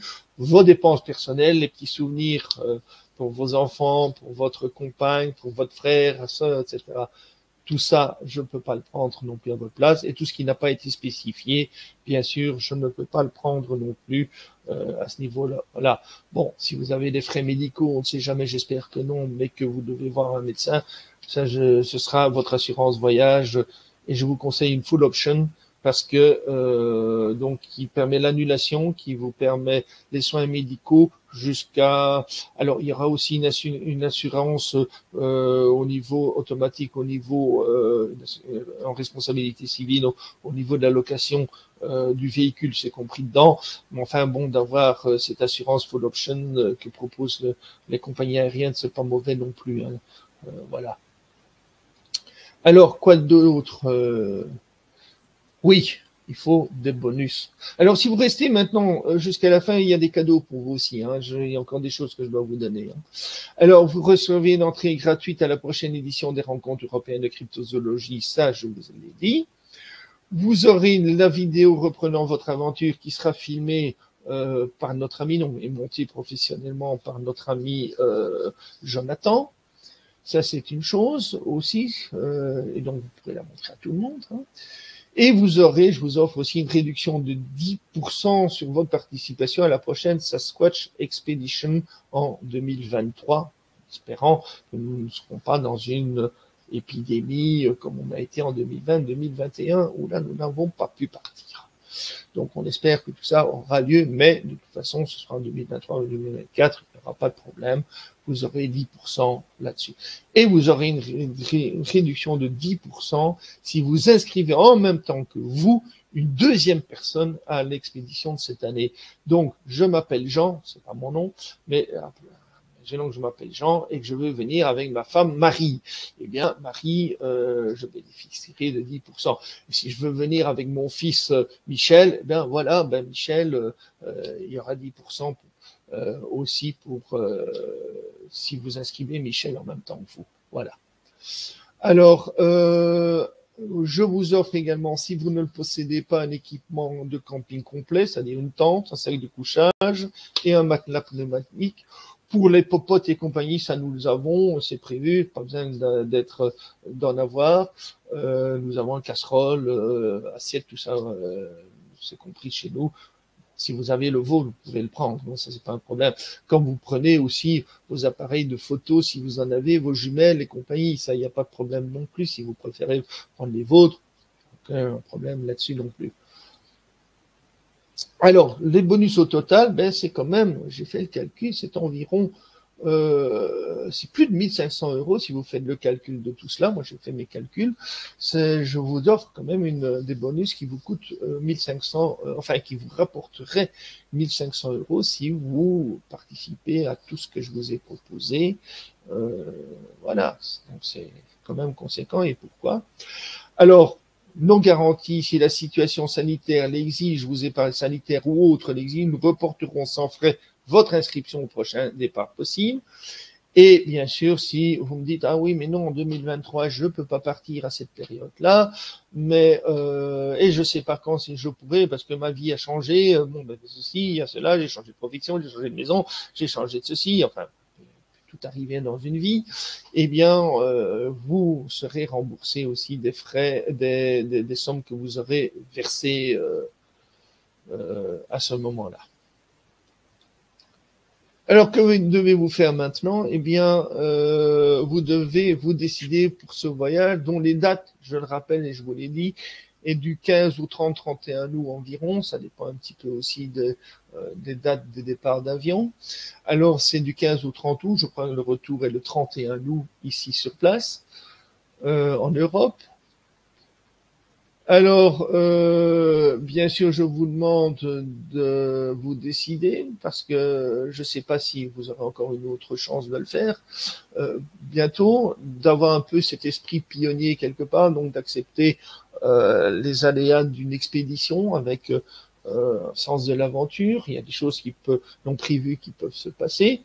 Euh, ben, on peut devoir crever un pneu, euh, par exemple, ça pourrait arriver. Ça nous est arrivé, devoir chercher un certain moment un garage pour changer le pneu.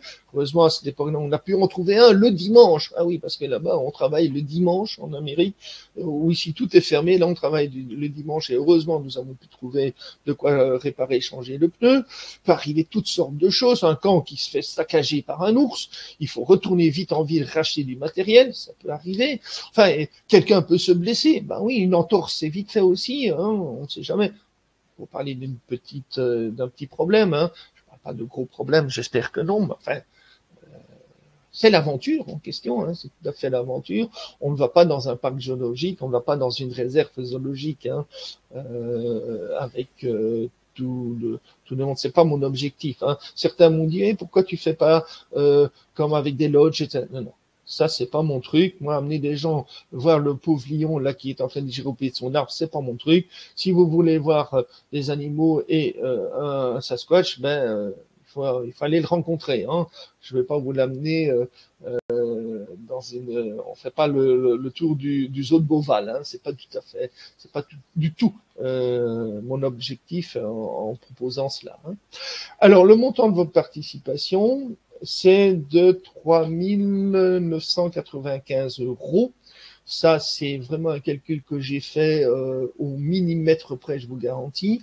Je n'ai pas compté les augmentations, ça je ne le compterai pas parce que si on est assez nom nombreux, on peut supporter ça aisément. Euh, sinon, j'aurais pu jouer en disant, ben, je monte à 5000 euros. Euh, non, je ne vais pas le faire, ou à 6000 euros, je ne vais pas le faire cette fois-ci. On verra comment on va s'en tirer, parce que euh, les billets d'avion me semblent tout à fait corrects, et j'ai appris que le trafic aérien avait repris euh, à peu près normalement, donc les billets ne devraient pas augmenter spécialement. Et c'est pas ça que je constate, pas une grosse augmentation. Seul problème qui a augmenté, ce sont les, euh, comme je vous l'ai dit, c'est la location des voitures. L'essence a augmenté.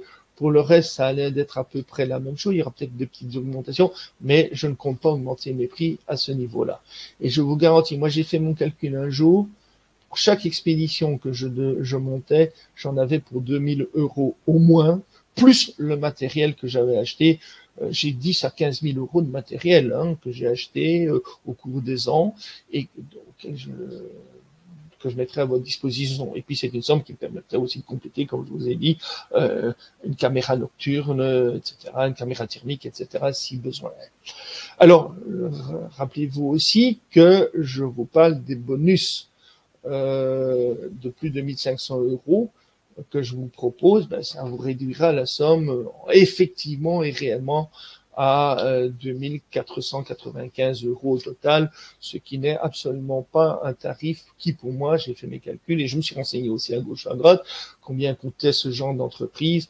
Je vous garantis qu'il y a des gens qui vous demande ce tarif-là pour une semaine seulement. Moi, je propose deux semaines euh, avec les accompagnements.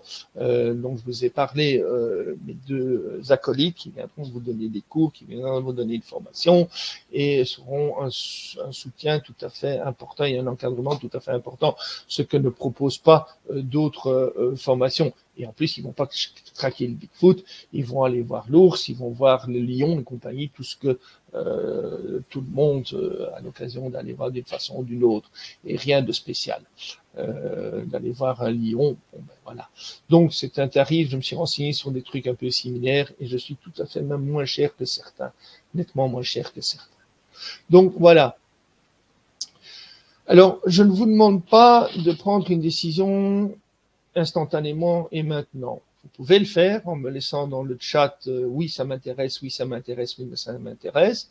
Comme j'ai vos coordonnées, puisque vous avez dû me, donner vos emails euh, pour participer à ce webinaire, tout ce que je vous demanderai ici, euh, eh bien, c'est de me contacter. Vous avez l'adresse ici. Hein.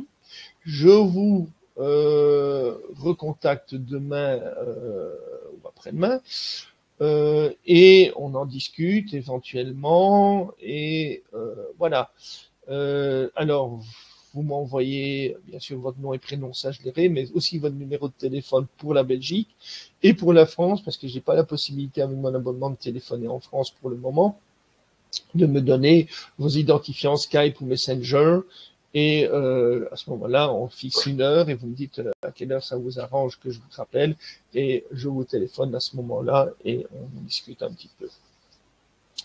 Pour savoir, euh, voilà, euh, je vois un petit peu, n'oubliez pas que je prends huit personnes. Alors si j'ai 26 personnes qui me contactent un jour pour me dire je veux partir, je veux partir, je peux rêver, eh bien je ne prends que huit personnes et donc ça c'est notre discussion qui vous départagera euh, en fonction de ce qui en, sortira. Voilà. Alors, si vous avez des questions là-dessus, avant que l'on termine, parce que je vois qu'il est 22h30 bientôt, si vous avez des questions concernant euh, ce projet auquel j'espère euh, vous participerez, eh bien, dites-le moi euh, ici, je répondrai dans le chat aux questions en, en question. Ah, Richard me dit qu'il nous quitte, ben, voilà, c'est bien. Jean aussi me, remercie. Jean est un vieil habitué de nos rencontres. Il pourrait vous en parler de, ces rencontres euh, auxquelles il vient depuis ah, je ne sais plus combien de temps.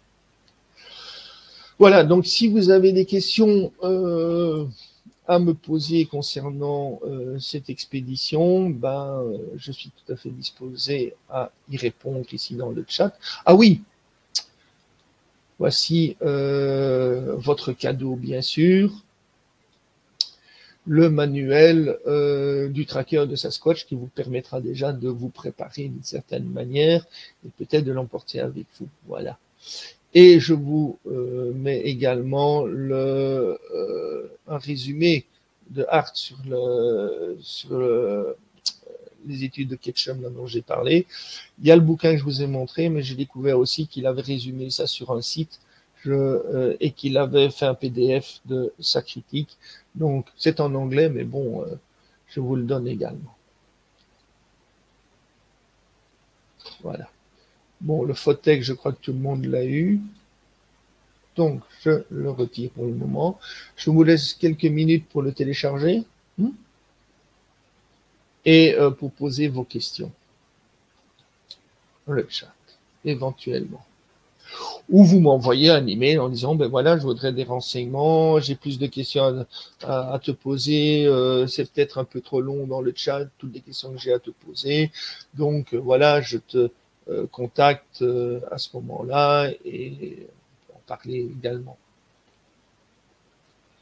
Voilà, dites-moi si vous avez téléchargé ici dans le chat.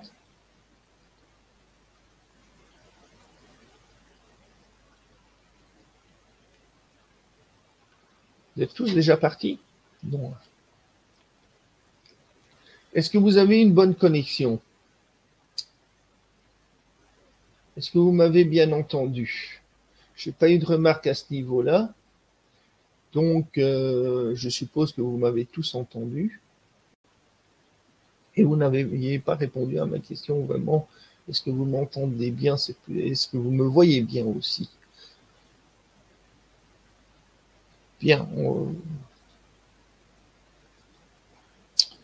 Voilà. Alors, bon, j'utilise des lampes là pour. Euh, euh, quand je fais des vidéos, il y en a une. J'avais rechargé la batterie, elle vient de se terminer, donc je suis un peu dans l'ombre. Je vais quand même aller allumer euh, le plafonnier, ce serait quand même mieux.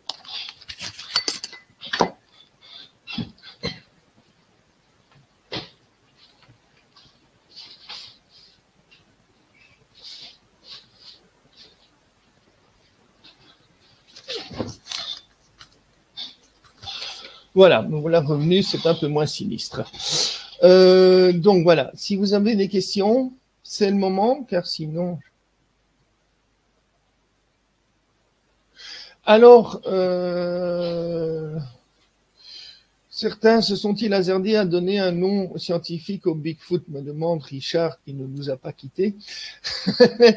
euh, oui, Volmans avait tenté de donner, euh, oui, effectivement, il y avait Grover Kranz qui avait donné euh, un nom scientifique qui était Gigantopithecus americansis ou quelque chose de ce type-là, ou parce qu'il estimait que le Bigfoot pouvait être un descendant du Gigantopithèque, c'est un géant qui a vraiment existé, qui a disparu à peu près il y a 100 000 ans, euh, et qui a vraiment existé en Asie, et dont on ne possède que euh, des dents et quelques mandibules, trois, quatre, quatre mandibules, je crois, euh, et quelques milliers de dents. Donc, il estime qu'il était le descendant du Gigantopithèque? Ce qui ne tient pas la route, en fait, parce que le gigantopithèque, maintenant on est, est presque sûr, était essentiellement euh, végétarien, comme le panda d'ailleurs, alors que Bigfoot est un omnivore euh, confirmé, ça on, on, en est tout à fait sûr.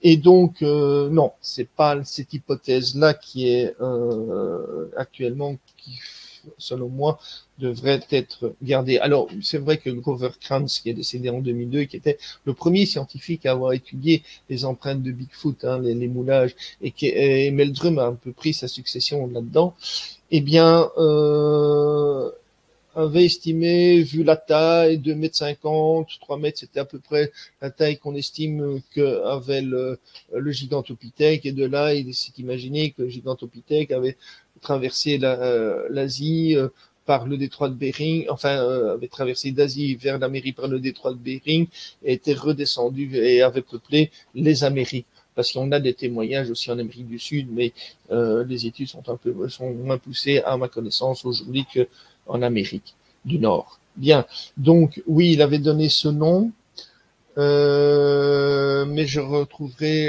je vais le noter aussi, retrouver ce que Krantz avait, le nom exact de Krantz.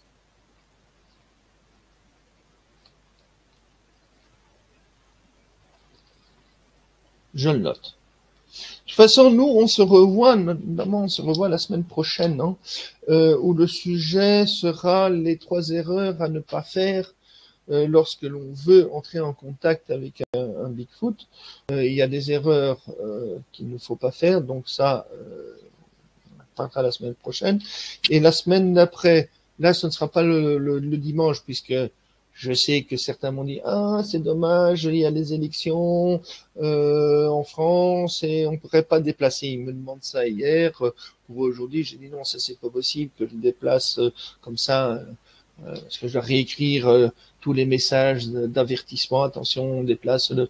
Non, c'est pas possible. Mais j'ai pris la précaution de au moment du week-end des élections en France, du deuxième tour, de le faire le vendredi et pas le dimanche je l'ai programmé le vendredi. Ça, vous aurez les, nouvelles à ce moment-là.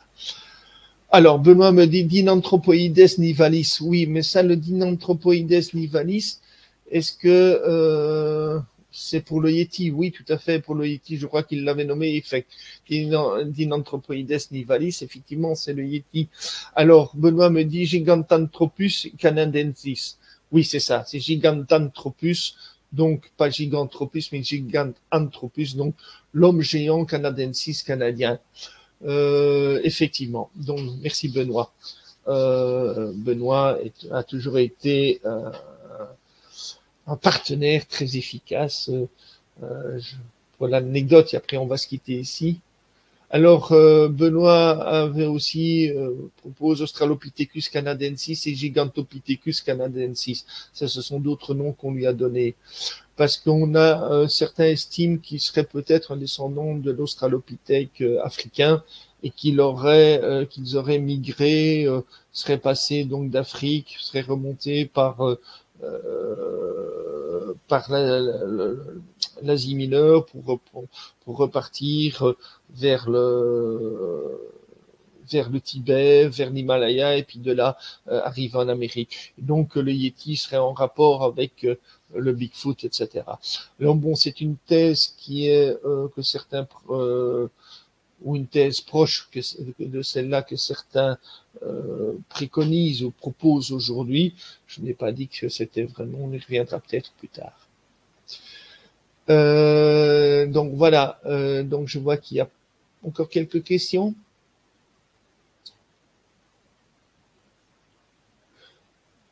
Alors personne n'empêche, malgré tous ces noms, que le jour où quelqu'un identifiera euh, par l'ADN ou parce qu'il y aura un corps euh, cette nouvelle espèce, de l'appeler euh, euh, Homo erectus canadensis, Homo erectus euh, americanus ou Homo erectus, que sais-je, un autre nom, et c'est celui-là qui semble qui euh, vaudra à ce moment-là, ou homo, ou homo, ou, homo ceci, voilà, canadensis, americanus ou n'importe quoi, eh bien, ce sera ce nom-là qui, risque de passer à la postérité plutôt que Anthrophagus pilosis.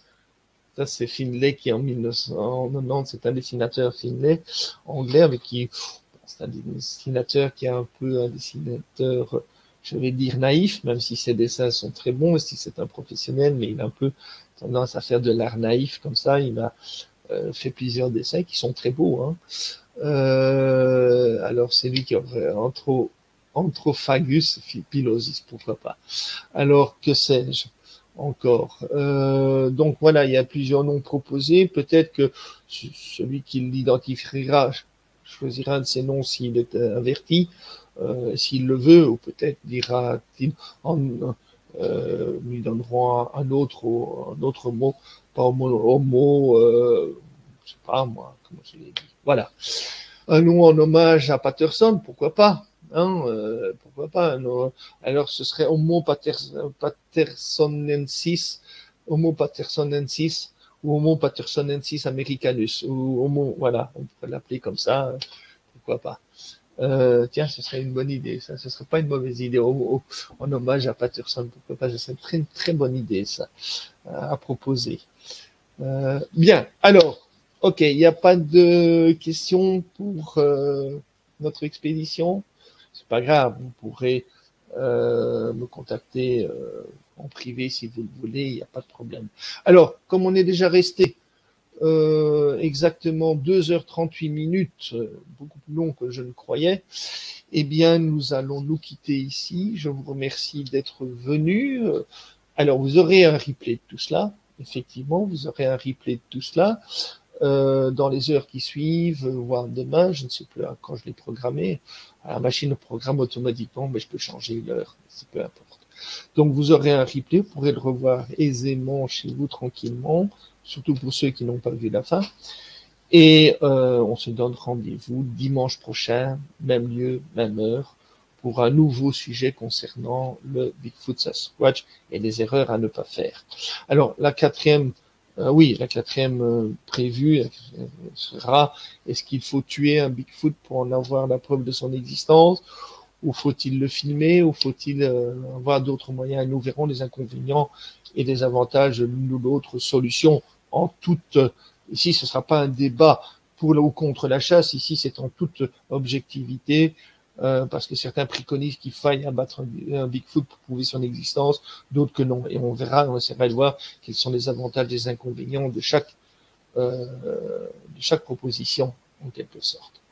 Allez, là-dessus, je vous laisse. J'ai assez causé pour ce soir et on se retrouve euh, ben, dans huit jours. Ciao, ciao. Goedenavond, comme dit euh, Richard Goldstein. Euh, alors, goedenavond ou goedenavond, en, en Flandre on dira goedenavond et en Hollande on dira plutôt goedenavond.